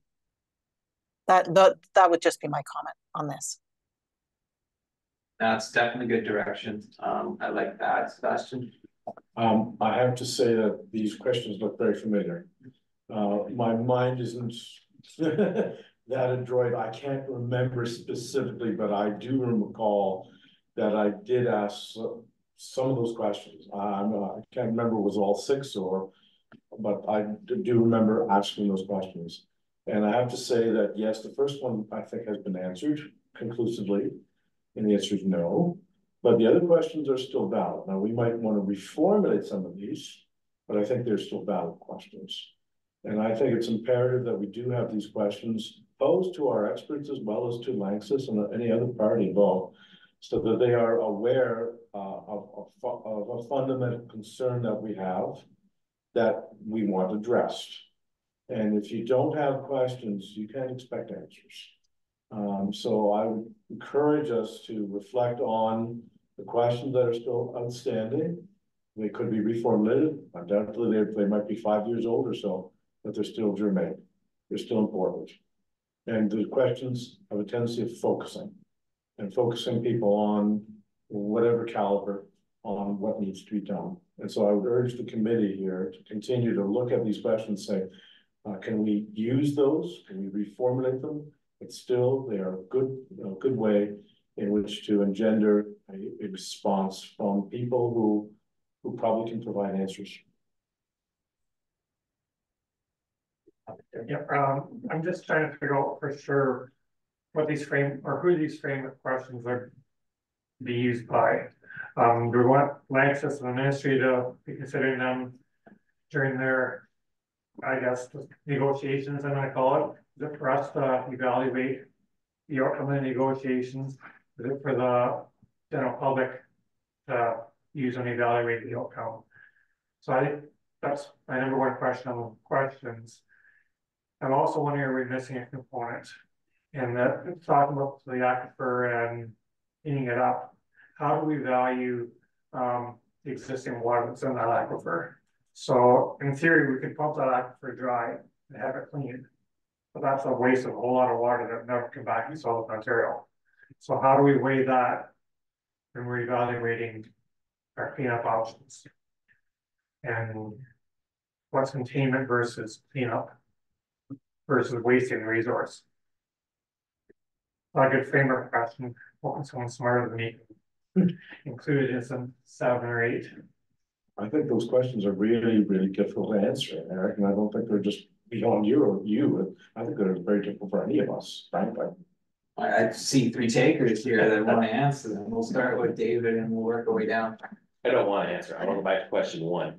Um, it- it's not been answered because uh, ironically, of all the questions, question one is the only changing question.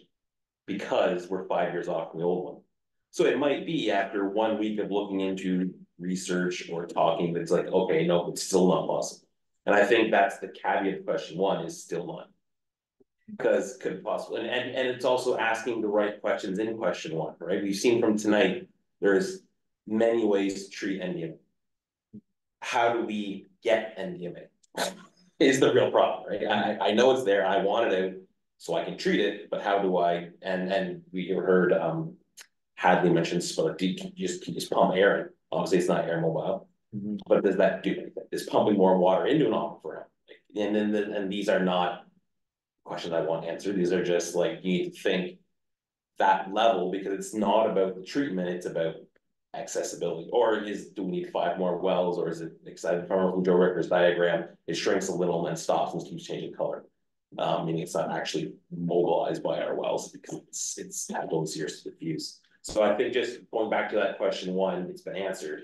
It's been answered today, hasn't been answered tomorrow or the next day or the next day or the et cetera, et cetera. Um, so just keeping that in mind that the question one's not gone. And that's part of the, the technical, the updating the technical meeting is. Well, has anything changed in the last, I guess, it, it seems like a five-year plan, which are always really good historically. This, this, But looking at it again, saying, did we miss something? Has something happened? Has anyone heard something? You know, the companies themselves are bigger. Um, Joe Ricker was brought in when he wasn't WSP, now he is WSP. Um, things like that, right? The companies are growing, they have more experience as well. They suddenly brought someone in that just haven't targeted this problem, quote unquote. Um, But just that, keep in mind, the question was an evolving potential question. Okay. I, I just, this is sort of a side thing. I just feel uncomfortable with feeling the burden that a volunteer group here is, is somehow. um, Undertaking the task of figuring out this huge problem. This huge, asking these complicated questions about complicated things that need so much technical expertise and so on. Where, what kind of initiative uh, should be placed on the company and the ministry who have funding, a mandate and uh, and expertise at their fingertips of some sort, and presumably the ability to seek to know what questions to ask and to seek other expertise if they don't have it. That's not our job, it seems to me, or it feels like it's an overwhelming task. Yeah, no, I tend to agree, and that's, you know, why I had almost framed it as uh questions that we could pose back to the community, because. Um. I think it's, it's unfair for us, for the expectation to be placed on the committee to make these decisions on behalf of the community. But then it's unfair to the community members to not have that say as well, so I think it goes both ways, and I I definitely value what you're saying. I think it's relevant. Linda, did you have a comment? Um, well, it was kind of. Maybe changed a bit with the discussion, but looking at those questions, there's some that kind of allude to it, and it's one I've. You know, I've heard before in my, in my work experience, um. Is that we're already. So, and it, and it'll become a perception question, it really will become a perception question. The water's coming out of the aquifer. It's being treated, and the water's going into the river, and it's going into the river safe. Why can't we use it? I've heard engineers and other consultants for years when I worked in planning and we were putting in new sewage treatment plants and. We always talked about the assimilation capacity of, of plants because you've got to assimilate this water into the stream and in some places you can't because there isn't. But yet they'll tell you that the water that's coming out is probably cleaner than the water that. That might be being drank right now, so, but that becomes very very, very perception oriented. And I think at the end of the day, that's where we're at. You can answer those questions any way you want, but it really comes down to an individual personal perception. And I think there's many, even if you go to the community, different community members are gonna have different perceptions. Yeah, I think that's a great idea. Why are we wasting? I'll let you know, I'm not. So you're, you're gonna. And at the end of the day, are we really gonna have an answer? So I don't know. I don't know, it's a tough one. Ulysses, I see you have your hand up, sorry if it's been up for a while. No, no, no, I, I, I just wanted to, to mention something, and I hope I don't get lynched for doing this. Um, one of the issues that seems to be missing from that list is an evaluation of the Ontario drinking water quality standards themselves. I think both for chlorobenzene and NDMA, those standards are pretty old. They date back, I think chlorobenzene dates back to the late 80s or early 90s. So a lot has happened since then. And I know that the approach used for chlorobenzene in particular is based on a very old methodology and um, is not even used currently. Um, they use this tenfold safety factor for each layer of conservatism that's that's associated with the, the toxicity data, and um, it it actually introduces a ten thousand fold safety factor, which is quite large. Um, so, you know, when when you talk about public perception, it might not be a bad idea to to review those guidelines and standards. I know that other jurisdictions have have, have different values for for both of those chemicals, and um, again, it's unlikely that you're going to convince the Ontario Ministry of the Environment to change those values, but having an understanding of where those concentrations or where those uh, safe limits came from, the uncertainty associated with those, um, the conservatism that's built in to them might help give people some confidence in in in the in the, the groundwater quality itself and maybe alleviate some of the concerns associated with minor exceedances that may occur from time to time. Um, again, it's just, I think it's valuable information and it, it might be worth pursuing given again the the nature of those those drinking water standards um, for these for these two chemicals.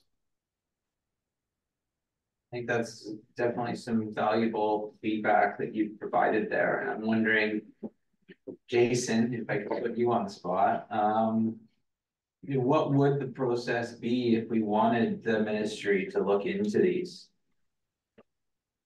Uh, it would start with me re reaching out to our uh, water resources branch and having a discussion with them and, and getting all the historical background information on how these were established. I don't have those at my fingertips. So uh, as Ulysses mentioned, these Ontario drinking water standards for these two con key contaminants of concern were established uh, many, many years ago. So um, yeah, I'd have to look into uh, discussing that with ministry staff.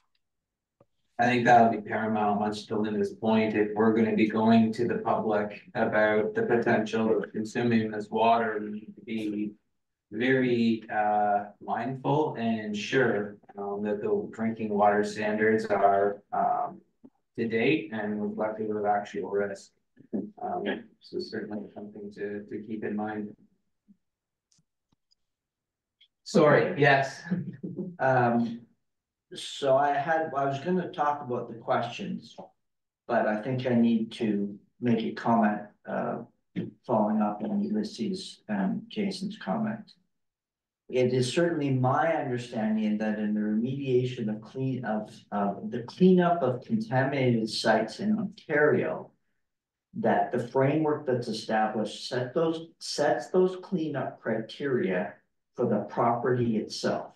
So if Lanxess was trying to remediate just its property and there was no offsite contamination, then, then they could either use the standards that are in the ministry's cleanup guidelines. Sometimes they're the drinking water standards, sometimes they're not. Uh, or it can do a very site-specific risk assessment about uh, with with all the considerations for what the drinking water standards are, all the exposure limits, all the different ways at which those standards were set and set site-specific cleanup criteria for that particular property, and that would be approved by the Ministry of Environment. That applies to the property. That does not apply to the offsite contamination. So the control order is the framework that we're currently working under for dealing with the offsite contamination. The province's cleanup approach didn't exist thirty years ago when the control order was established, which is why we are where we are. Otherwise, they could just flip it, I think. I'm not trying to speak for the ministry. But it would be my understanding that they could just revert to these cleanup guidelines, but no, we're offsite already. There's already been an impact. There's different process from a regulatory perspective.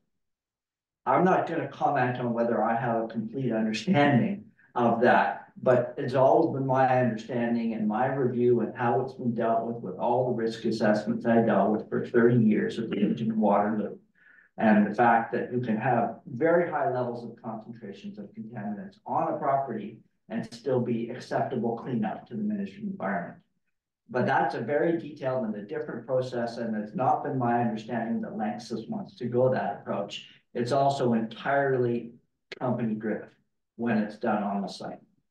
So I'm not, like, that, that, having that discussion might be useful. I'm not saying one way or another. I'm just saying I don't think the framework in the province of Ontario, unless it applies it in an offsite plume approach. So that's just my comment back on um the the comment about looking at the the guidelines. They may be old, I don't know. I I I always relied on the ministry to tell me or the public health groups to tell me what the cleanup guidelines were and or the standards were, and that's what I relied on. So that whole process may be entirely different. So that, I just want to try to provide some context on whether that's actually going to be a reasonable approach or not. I don't think it is, because I don't think that's where we are, but I don't want to handcuff anybody from looking at that future, and I know that Jason has already commented that he's going to go back, so I think that's great if you want, if, if that can be done, we can have that clarity. So my original point that I wanted to make when, when I came here is, I think those questions that now we've been highlighting several times, and I perhaps inadvertently elevated them as the questions. They're not. They're, they're part of a document that's called the Pathway to Remediate Remedial Objectives for the Municipal Aquifer which described all the technical things that Lanxess was going to do, how they were going to do updates to their remediation, how they were going to turn on new wells, how they were going to measure the impacts of those. And, and then once you got to the, once you were in the framework of all the technical evaluations, these were then important, these were then important questions. And I, I want to read this paragraph. So there's six questions. Um, I don't need to go and tell you what those are, but the limits of available technology to achieve the mass removal needed to satisfy the requirements of question one and question two within a reasonable time frame and cost may not be possible for the complex municipal aquifer geological system. It is widely acknowledged to maximize remediation effort to areas that give the biggest impact this implies a shift from the remediation everywhere paradigm to a focus on those zones that contribute to the ultimate use of the municipal aquifer groundwater as a resource, i.e. a shift, that's, that's technical. Thus, answers to questions three and six become relevant to, to setting achievable remedial objectives and timing. These were never designed to be public questions. These were always to be viewed as part of the evaluation of the technical components of what Lanxess was doing through their remediation and their updated remediation. So I, think somehow these questions have elevated themselves to, to these are the questions that we need to solve. No, these aren't the questions we need to solve. They're intertwined with the remediation program that Lanxess has set up. So uh, rather than bringing these questions up every time. I think what we what we need to do is is uh, as I have suggested and as Tiffany has has also suggested, we need to make sure that what's been done so far is up to date so we can dig into this technical framework and help answer some of these questions and, and figure out where we're gonna move. If we're gonna move from a groundwater must meet drinking water standard everywhere to a site-specific or a geographically specific area. That then brings up the question that, that, that arose earlier. Yes, it may be above the drinking water standards may meet the drinking water standards in the treated drinking water, but is there someone who wants to use that? I don't think if I was at the region of Waterloo, I'd be saying I want to use it as a potable drinking water supply. There may be an industry out there that would be willing to use that as part of their drinking, part of their industrial supply. And when the region had looked at this in the past, not for that reason, but for other waste products, you have to go out and find that company that is going to be willing to do that. So our options for using that treated water, not our options, the options for using the treated water could be simply as simple as saying, that seems like we as a community generally think that that would be a good use of the water. So if Lanxess wants to go out and find somebody to use that water, go at it. I don't think anybody would be upset about that.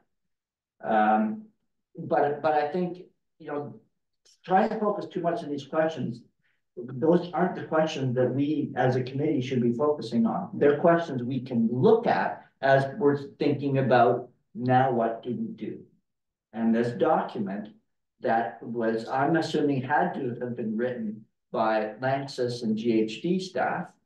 Um, uh, they set that framework out. They posed those questions. Those were created by us. I'll, I'll jump in here because I get what Please you're do. saying completely. Um, I, I just think we, I, I, I'm only just saying, my point was, we've taken these questions completely out of context for the reason of which they were initially asked. And I think take we need full to- responsibility for potentially highlighting these. I think for my intention is talking about a twenty twenty-eight control order.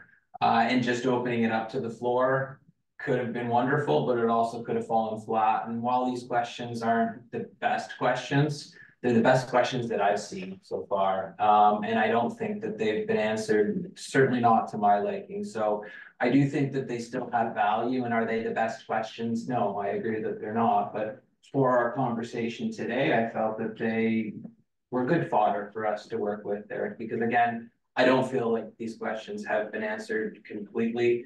I do think there are a lot of question marks that stem from these questions as well. And so what I would like to land on is, you know, some framework questions that we as a committee feel comfortable putting forward. You know, what do we want answered as a committee? What do we want to engage the public on? And I know that we're not there yet. But I think that it's important that we continue to have these conversations with those questions or with them. Um, so I can guarantee for next meeting, um, we'll do some work behind the scenes and try to foster, you know, some. Some better discussion questions that will kind of continue this discussion. Um, but in the interest of time, I think that this has been a pretty good conversation. Hadley, I do see your hand up, so I want to give you an opportunity. Mayor Councilman. You have your hand up too? Well, see what happens when you sit beside me? I can't see you. Okay, go ahead, Hadley.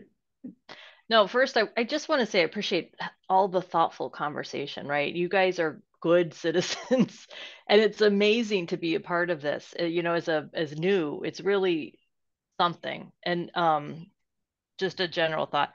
But then what, what I'm what I'm hearing is a little bit technologies move forward. Um, regulations have moved forward and we're still kind of stuck in this framework when it was all new, you know, 30 years ago when it was a crisis when people were trying to figure out answers to problems and solutions that they didn't know what they were yet.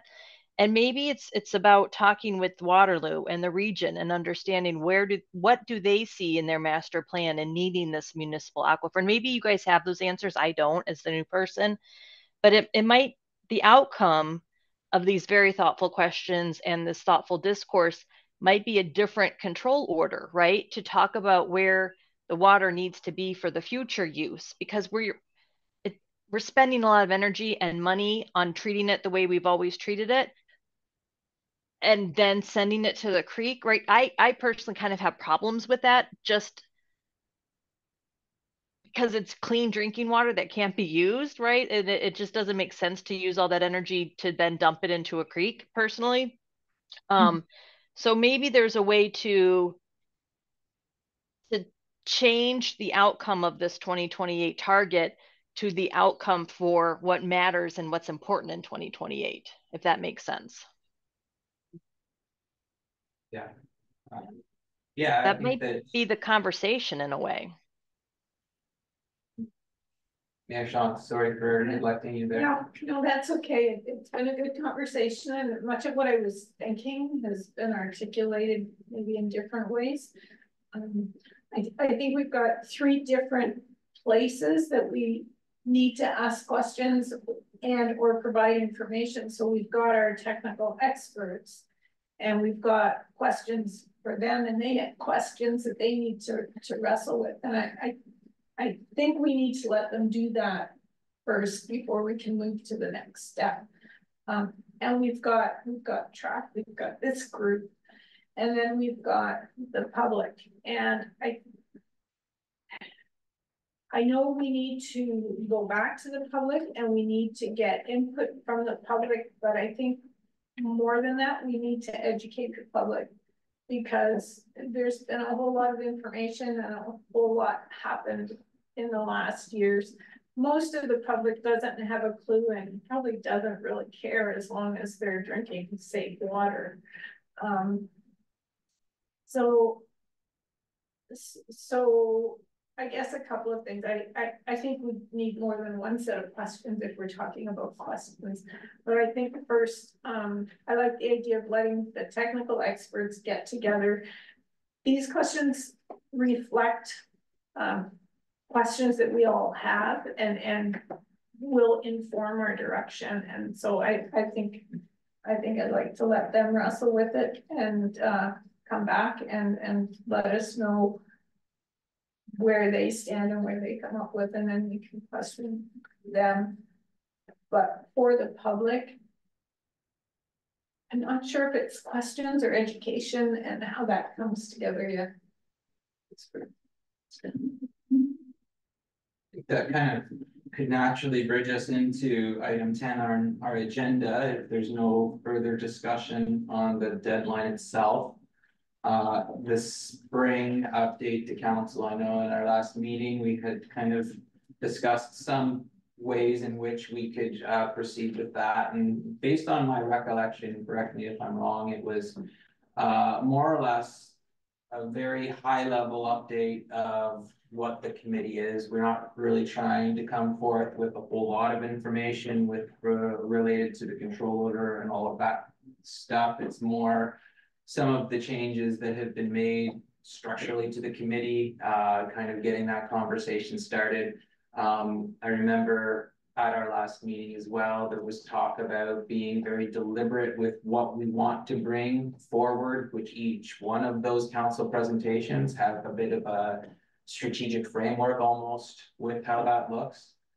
Um, with that being said, we were hoping to move forward in this, this spring with an update to council.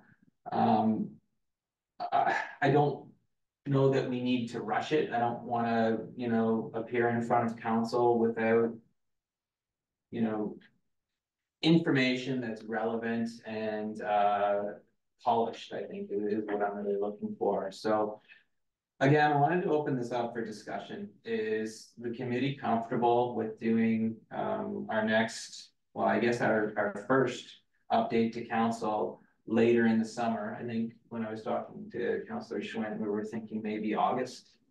Um, could be a good time frame, just because I don't think we have a lot of meetings in July uh as it sits now. And we wouldn't wanna leave it too long um past September because we meet again in September. So I know that I'm just kind of uh. Droning on here, so I'll open it up to the floor to see if there's any uh thoughts or considerations on this one. You know, council on the twenty seventh Of July, of August. It was a calendar right there to your right.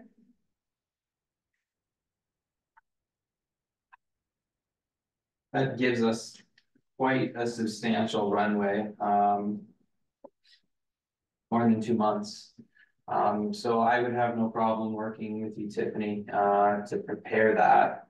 Um, if the committee is comfortable with that direction, you know, just kind of a high level, some of the changes we've made from TAG TRAC to now. We've met a couple of times, high level discussion on direction we're taking things, yeah. Um, just to point out, I mean, tonight, I think is an illustration, there is disagreement as to direction there, so. Uh, if you're going to present to council, I think it- it's imperative that you also recognize that there's no uniformity or consensus here. Um, I have just, I have disagreements with, with the points that were raised by Eric. And we can have a long, lengthy discussion about that, and it would be, I think, pretty deep. So if you are gonna present to council, I think you need to be aware that there is no consensus. All right, so what, what, what would be said would have to be given certain caveats or cautions. Um, about that, so I think there's, there's a, there's this fundamental disagreements here going on. I appreciate that, and I think that's, it's important that we have those disagreements in a lot of respects, right? Uh, some of the conflict that may be generated with these discussions is inevitably meant to lead to growth and development, not just, you know, for us personally, but for the community and how we can remediate the aquifer. So I appreciate the comment. It's a valid point. Thank you for that. Um, any other thoughts or considerations that you would like to send back uh with Tiffany or I um as we prepare to bring this forward then? Linda? Just, and, and, and I appreciate that, the, uh, Sebastian's comments and, and, and, and I was thinking the same thing, that that's, that's where we're gonna get. That's what we're here for, is to, we're not all gonna agree on everything and, and do that, but. And you're, and keeping it high level is a good thing, I was just wondering, in the time frame, is it, is it possible that? A draft could be circulated to the committee, and then the committee has the opportunity to review it, and if there is any major concerns with the content, then. That could be hashed out before the final report went A out. hundred percent, because we have such a a runway here, I don't see any problem with that. So um Tiffany, do you foresee any issues working together? We should be able to. Have some sort of a draft in the next month or so? Yeah, no, I, I think, uh, I think a high level, um, a high level in and of itself will sort of, I think, illustrate that. I mean, we're not speaking about consensus specifically on specific subject matter, but just more sort of, here are the big questions that need to get answered. Here are some general direction that we're taking and moving, moving the issues forward. So I, I don't see the timeline being an issue, and I don't see the, the framework that we're going to be working within being an issue. Thanks, Tiffany. Um, I guess the final question, is there any questions that the committee would like to ask of council during um the presentation? And I mean, I'm just throwing it out there. My assumption is that you probably wouldn't, but um, you never know. So if there is something, even if it doesn't come to you off the top of your head right now, um, send me an email and I'll be sure that uh we get any of those questions answered at the council table. Um, that brings us to other business, so we have a number of things, no, we don't, we have one item in other business, uh, the twenty twenty-three annual environmental report, and David, I think that you're gonna speak to this. Yeah. Um, so for the, the, the people who are new to, to what if we're on track? Um, this is the annual environmental report. It is different than the annual monitoring report. The annual monitoring report specifically deals with soil sediment and all the historical stuff that's happened. The annual environmental report is basically everything else environmental that the ministry has control over. Um, so it starts with discussing um air emissions, so basically all good news mostly across the board. Um, they decreased air emissions, I think, sixteen percent. Um, it represents, I think, a fourteen percent reduction based on production kind of thing. So even though it's a six percent reduction, there was a two percent production decrease, so that kind of factors out. Um, toluene dropped by over half from, the- and this is all twenty twenty-three versus twenty twenty-one. Um, sorry, twenty twenty-three versus twenty twenty-two, the previous year. Uh, toluene was cut in half, mostly due to production decreases in toluene containing products. They, they stopped using it. Um, there's a whole bunch of criteria air contaminants. Um, they're basically all the contaminants that used to give us smog days and acid rain and all the stuff that my kids have no idea what they mean. Um, thankfully. Um, so they're carbon dioxide, carbon monoxide, methane, nitrous oxide, oxides of nitrogen, total particulate matter, particulate matter less than ten microns, particulate matter less than two point five microns, sulfur dioxide and VOCs. Um, so these decrease by a factor of twenty-five percent Um, again, it's due mainly due to production decreases that they decreased. Um, the moral of the story for air is everything's good. Everything's within the point of impingement releases. Every, there's a few contaminants over ten percent of the point of impingement. Um, the ministry cares when it gets to ninety, um, but they just flag these ones that are over ten. Um, that basically means twenty twenty-three, not much change, twenty twenty-two, but nothing changed in the computer model either. Um, the last change, I think, was the last big one was a suburban, uh, meteorological data they had to use. Um, odor modeling, they've had no complaints, and the odor modeling says they shouldn't have any complaints, so. Um, that's it for their emission side. For environmental health and safety, they continue under the new responsible care program, uh, which is the American Chemistry Council's RC 14001 2015. Um, they still do comply with the CIAC version of responsible care, but it's toned down because so much of responsible care is in fourteen thousand, ISO fourteen thousand. Um, so that's mostly just a, a- an audit and review of all their environmental health, safety, security type of, uh, systems. Uh, for noise, uh, they had no noise complaints. Uh, stage three of the system, uh, ended on first of October. They finished that early. There is no timeline given for stage four um, of the noise abatement plan. Um, when stage four is done, they're basically gonna be compliant with noise emissions in Ontario. Um, but th- there was no timeline in the actual, uh, monitoring report, sorry, environmental report. Uh, soil and sediments, uh, that line is exactly what it says in the report is, although I put the typos in there. Uh, but basically it's covered under the AMR, which was submitted two days before this report. Uh, NDMA was not detected in their discharge, that's their actual treatment system discharge, um, in twenty twenty-three. Uh, all of their waste sumps were inspected. Um, the ministry did perform an inspection on the eighth of October, this would be the district ministry environmental officer. Um, there were no actionable items based on their site visit. And the only recommendation to come out of the report is, and it's given every single time, um, is that GHD recommends that come up with a waste drum labeling system to ensure no drums are stored for more than ninety days, which would be a violation of uh, ministry requirements. It's been the recommendation for as long as I think I've been here.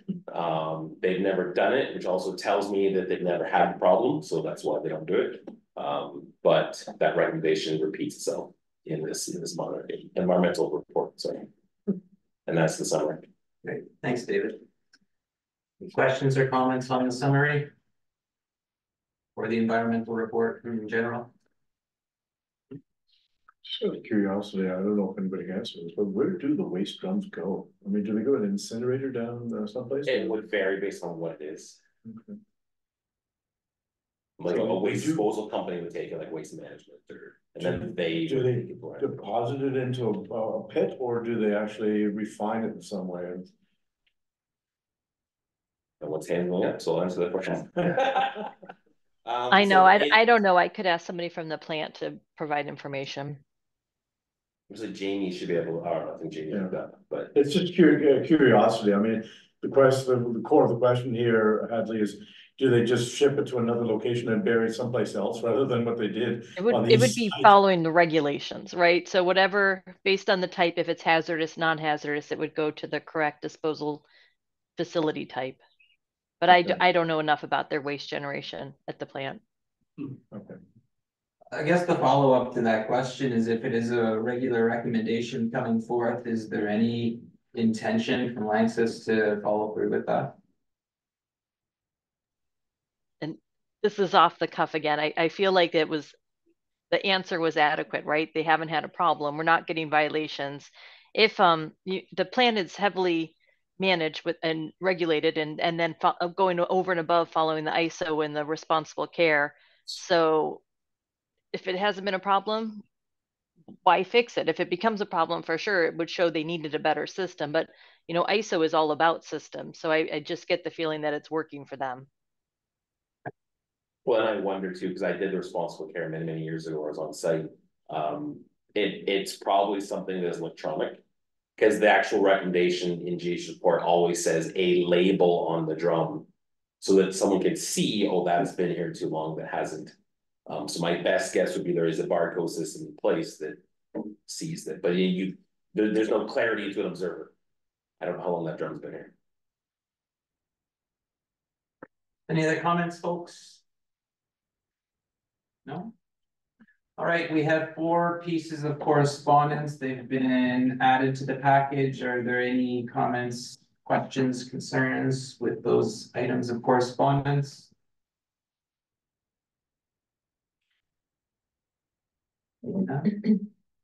That brings us to our next meeting date, which has been scheduled um for September nineteenth. And thanks to Stacy for pre-scheduling many of the meetings so that we actually have a date and don't have to spend time finagling calendars. Um, so hopefully that date works for everybody. If not, send me an email. No? No good? Do we have more than uh, more than a few people that know that that date won't be any good? No good for you, Sebastian? I'm afraid not. All right, well, we may have to look at exploring another date if that's the case. A Um, week, week before possibly, yeah. Okay, Thursday before. if anybody does have concerns with the date, could you send Stacy just an email, uh, and let her know? And if we know for a fact that we won't be reaching quorum, we'll definitely reschedule, but if we can move forward with it, with just a couple of people missing, then we may have to do that as well. I'll send Stacy a, a note, but I'm in the same boat as, as Sebastian. The week before would work, but not that particular Thursday. But I'll send, uh, I'll send an email.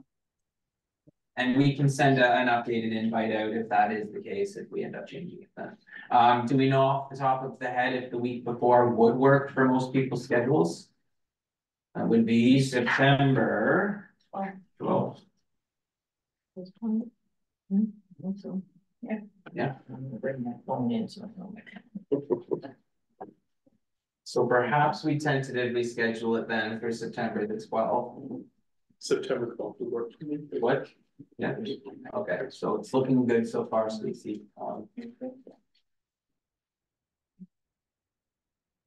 All right, we'll work at making that change, um, so you'll be getting an updated calendar invite, um, in the next little while. Um, that brings us to adjournment. Um, do we need a mover and a seconder for adjournment, or do we just take off? Can I get a mover? Thanks, Sebastian, seconder? You just wanna stay, Ryan? Uh, all in favor? And we are adjourned, thank you very much. Um. Before we do go, I know that the card has been circulating, uh, we do have a retirement card for Ramin, so if you do get a chance to sign it. Uh, we'll get that sent away to him, um, just to, to thank him for all of his time and effort here. Um, for those of you online, if you don't have a chance, um, you can either send me an email. If you want your, uh, message to be included in the card. Um, or we can try and work out a time to meet and, uh, I can have you sign the card in person as well. Um, so just like, all right, thanks, everybody, for the, the meeting. Thanks for the discussion, uh, and I'll see you all in a few months. Thank you. Thank you. Take care. Thank you.